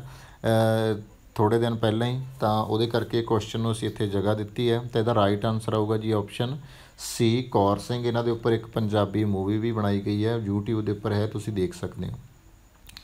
ਅਗਲਾ ਕੁਐਸਚਨ ਦੇਖ ਲਈਏ ਜੀ। ਨੀਰਜ ਚੋਪੜਾ ਨੇ 골ਡ ਮੈਡਲ ਲਿਆ ਟੋਕੀਓ 올림픽ਸ ਦੇ ਵਿੱਚ। ਤਾਂ ਉਹਨਾਂ ਨੇ ਕਿੰਨਾ ਡਿਸਟੈਂਸ ਹੈ ਜਿਹੜਾ ਉਹਨਾਂ ਦੀ ਜੈਵਲਿਨ ਨੇ ਟਰੈਵਲ ਕੀਤਾ ਸੀ। ਭਾਰਤ ਦੇ ਇੱਕੋ ਇੱਕ ਐਥਲੀਟ ਜਿਨ੍ਹਾਂ ਨੇ 골ਡ ਮੈਡਲ ਲਿਆ ਐਥਲੈਟਿਕਸ ਦੇ ਵਿੱਚੋਂ ਜੈਵਲਿਨ ਥਰੋ ਦੇ ਵਿੱਚੋਂ 1896 ਪਹਿਲੀਆਂ ਐਥਨਸ ਦੇ ਵਿੱਚ ਹੋਈਆਂ ਸੀ। ਉਦੋਂ ਤੋਂ ਲੈ ਕੇ ਹੁਣ ਤੱਕ ਇੱਕੋ ਮੈਡਲ ਹੈ ਜਿਹੜਾ ਭਾਰਤ ਦੇ ਬੰਦੇ ਦਾ ਐਥਲੈਟਿਕ ਦੇ ਵਿੱਚ ਆਇਆ। ਇਸ ਤੋਂ ਪਹਿਲਾਂ ਨਾਰਮਨ ਪਿਚਰਡ ਜਿਹੜੇ ਬੇਸਿਕਲੀ ਹੈਗੇ ਬ੍ਰਿਟੇਨ ਦੇ ਸੀ, ਪਰ ਇੰਡੀਆ ਵੱਲੋਂ ਖੇਡੇ ਸੀ, ਉਹਨਾਂ ਦੇ ਐਥਲੈਟਿਕ ਦੇ ਵਿੱਚੋਂ ਮੈਡਲ ਸੀਗੇ। ਤਾਂ ਐਥਲੈਟਿਕ ਦੇ ਵਿੱਚ ਇਹਨਾਂ ਦਾ ਮੈਡਲ ਕਿਹਦੇ ਚੋਂ ਆਇਆ? ਜੈਵਲਿਨ ਥਰੋ ਦੇ ਵਿੱਚੋਂ ਆਇਆ ਜੀ। ਡਿਸਟੈਂਸ ਕਿੰਨਾ ਸੀ? 86 58 87 58 88 58 ਤੇ ਜਾਂ ਫਿਰ 99 58 ਤਾਂ ਰਾਈਟ ਆਨਸਰ ਆਊਗਾ ਜੀ option B 87.58 metre javelin throw ਕੀਤੀ ਸੀ ਇਹਨਾਂ ਨੇ। ਤਾਂ ਦੋਸਤੋ, ਧੰਨਵਾਦ ਤੁਹਾਡਾ। ਸਾਡੀ ਵੀਡੀਓ ਕਿਵੇਂ ਦੀ ਲੱਗੀ ਜਰੂਰ ਦੱਸਿਓ ਤੇ ਸਾਡੇ ਇਸ ਜਿਹੜੇ ਤੁਹਾਡੇ ਕਮੈਂਟਸ ਨੇ ਸਾਰੇ ਪਲੀਜ਼ ਵੀਡੀਓ ਰੋਕ ਕੇ ਸਾਰੇ ਕਮੈਂਟ ਜਰੂਰ ਕਰੋ। ਆਪਣੇ ਨੰਬਰ ਸਾਡੇ ਨਾਲ ਸ਼ੇਅਰ ਜਰੂਰ ਕਰੋ। ਤਾਂ ਕੱਲ ਨੂੰ ਪੇਪਰ ਦੇ ਲਈ ਸਭ ਨੂੰ ਬੈਸਟ ਆਫ ਲੱਕ ਹੈ ਜੀ। ਤਾਂ ਸਾਡੀ ਅਪਰੋਕਸੀਮੇਟਲੀ ਮੇਰਾ ਖਿਆਲ ਹੈ ਲਾਸਟ ਵੀਡੀਓ ਹੋਏਗੀ ਹੁਣ ਤੱਕ ਦੀ ਇਹ। ਤੇ ਕੋਸ਼ਿਸ਼ ਕਰਾਂਗੇ ਜੇ ਇੱਕ ਮੋਟੀਵੇਸ਼ਨਲ ਵੀਡੀਓ ਸਵੇਰ ਤੱਕ ਬਣ ਸਕੀ ਤਾਂ ਅਸੀਂ ਅਪਲੋਡ ਕਰਨ ਦੀ ਕੋਸ਼ਿਸ਼ ਕਰਾਂਗੇ ਜੀ। ਤਾਂ ਤੁਸੀਂ ਨੇ ਫ੍ਰੀ ਮਾਈਂਡ ਹੋ ਕੇ ਅੱਜ ਦੀ ਰਾਤ ਪੂਰੀ ਨੀਂਦ ਲੈਣੀ ਹੈ ਤੇ ਸਵੇਰ ਨੂੰ ਫ੍ਰੀ ਮਾਈਂਡ ਉੱਠਣਾ ਹੈ, ਜ਼ਿਆਦਾ ਟੈਨਸ਼ਨ ਨਹੀਂ ਲੈਣੀ। ਪੇਪਰ ਪਹਿਲਾਂ ਵਰਗਾ ਸੌਖਾ ਹੀ ਆਏਗਾ। ਤੇ ਜੇਕਰ ਕੋਈ ਕੁਐਸਚਨ ਬਾਹਰੋਂ ਵੀ ਆ ਜਾਂਦਾ, ਤਾਂ ਵੀ ਟੈਨਸ਼ਨ ਲੈਣ ਦੀ ਲੋੜ ਨਹੀਂ। ਤੁਹਾਡੇ ਕੋਲੇ ਜੇ ਇੱਕ ਕੁਐਸਚਨ ਬਾਹਰੋਂ ਆ ਜਾਂਦਾ, ਕੋਈ 10 ਕੁਐਸਚਨ ਵੀ ਬਾਹਰੋਂ ਆ ਜਾਂਦੇ ਨੇ, ਕੋਈ ਗੱਲ ਨਹੀਂ। ਤਾਂ ਵੀ ਤੁਹਾਡੇ ਕੋਲੇ ਸਪੋਜ਼ ਕਰੋ ਕਿ 150 ਦੇ ਨੰਬਰ ਦੇ ਪੇਪਰ ਦੇ ਵਿੱਚੋਂ ਜੇਕਰ 20 ਕੁਐਸਚਨ ਵੀ ਆਊਟ ਆਫ ਸਿਲੇਬਸ ਆਉਂਦੇ ਨੇ, ਤਾਂ ਤੁਹਾਡੇ ਕੋਲ ਫਿਰ ਵੀ 130 ਕੁਐਸਚਨ ਹੈਗੇ ਨੇ। ਤੇ ਤੁਸੀਂ ਨੰਬਰ ਕਿੰਨੇ ਲੈਣੇ ਨੇ? ਸਿਰਫ 90 ਹੈ ਨਾ ਤੁਹਾਡਾ ਜਿਹੜਾ ਟਾਰਗੇਟ ਹੈਗਾ, ਉਹ 90 ਨੰਬਰ ਤੱਕ ਦਾ ਜੀ। ਤਾਂ ਟੈਨਸ਼ਨ ਲੈਣ ਦੀ ਜ਼ਰੂਰਤ ਨਹੀਂ ਈਜ਼ੀਲੀ ਪੇਪਰ ਕਰਨਾ, ਸਭ ਤੋਂ ਪਹਿਲਾਂ ਉਹ ਕੁਐਸਚਨ ਅਟੈਂਪਟ ਕਰਨੇ ਨੇ, ਜਿਹੜੇ ਤੁਹਾਨੂੰ ਆਉਂਦੇ ਨੇ। ਦੂਜੇ ਨੰਬਰ ਤੇ ਉਹ ਕੁਐਸਚਨ ਅਟੈਂਪਟ ਕਰਦੇ ਨੇ, ਜਿਨ੍ਹਾਂ ਦੇ ਵਿੱਚ ਕਨਫਿਊਜ਼ਨ ਹੈਗੀ ਆ। ਤੀਜੇ ਨੰਬਰ ਤੇ ਉਹ ਕੁਐਸਚਨ ਅਟੈਂਪਟ ਕਰਨੇ ਨੇ ਜਿਨ੍ਹਾਂ ਤੁਹਾਨੂੰ ਨਹੀਂ ਆਉਂਦੇ, ਜਿਨ੍ਹਾਂ ਤੇ ਤੁੱਕਾ ਲਾਉਣਾ ਤਾਂ ਇਹਨਾਂ ਨੂੰ ਇੱਕ ਸੀਕੁਐਂਸ ਦੇ ਵਿੱਚ ਤੁਸੀਂ ਨੇ ਸੋਲਵ ਕਰਨਾ ਕੁਐਸਚਨਾਂ ਨੂੰ। ਤਾਂ ਆਪਣੇ ਸਕੋਰ ਸ਼ੇਅਰ ਕਰੋ ਸਾਡੇ ਨਾਲ ਜੀ। ਅੱਜ ਲਈ ਇੰਨਾ ਹੀ। ਧੰਨਵਾਦ।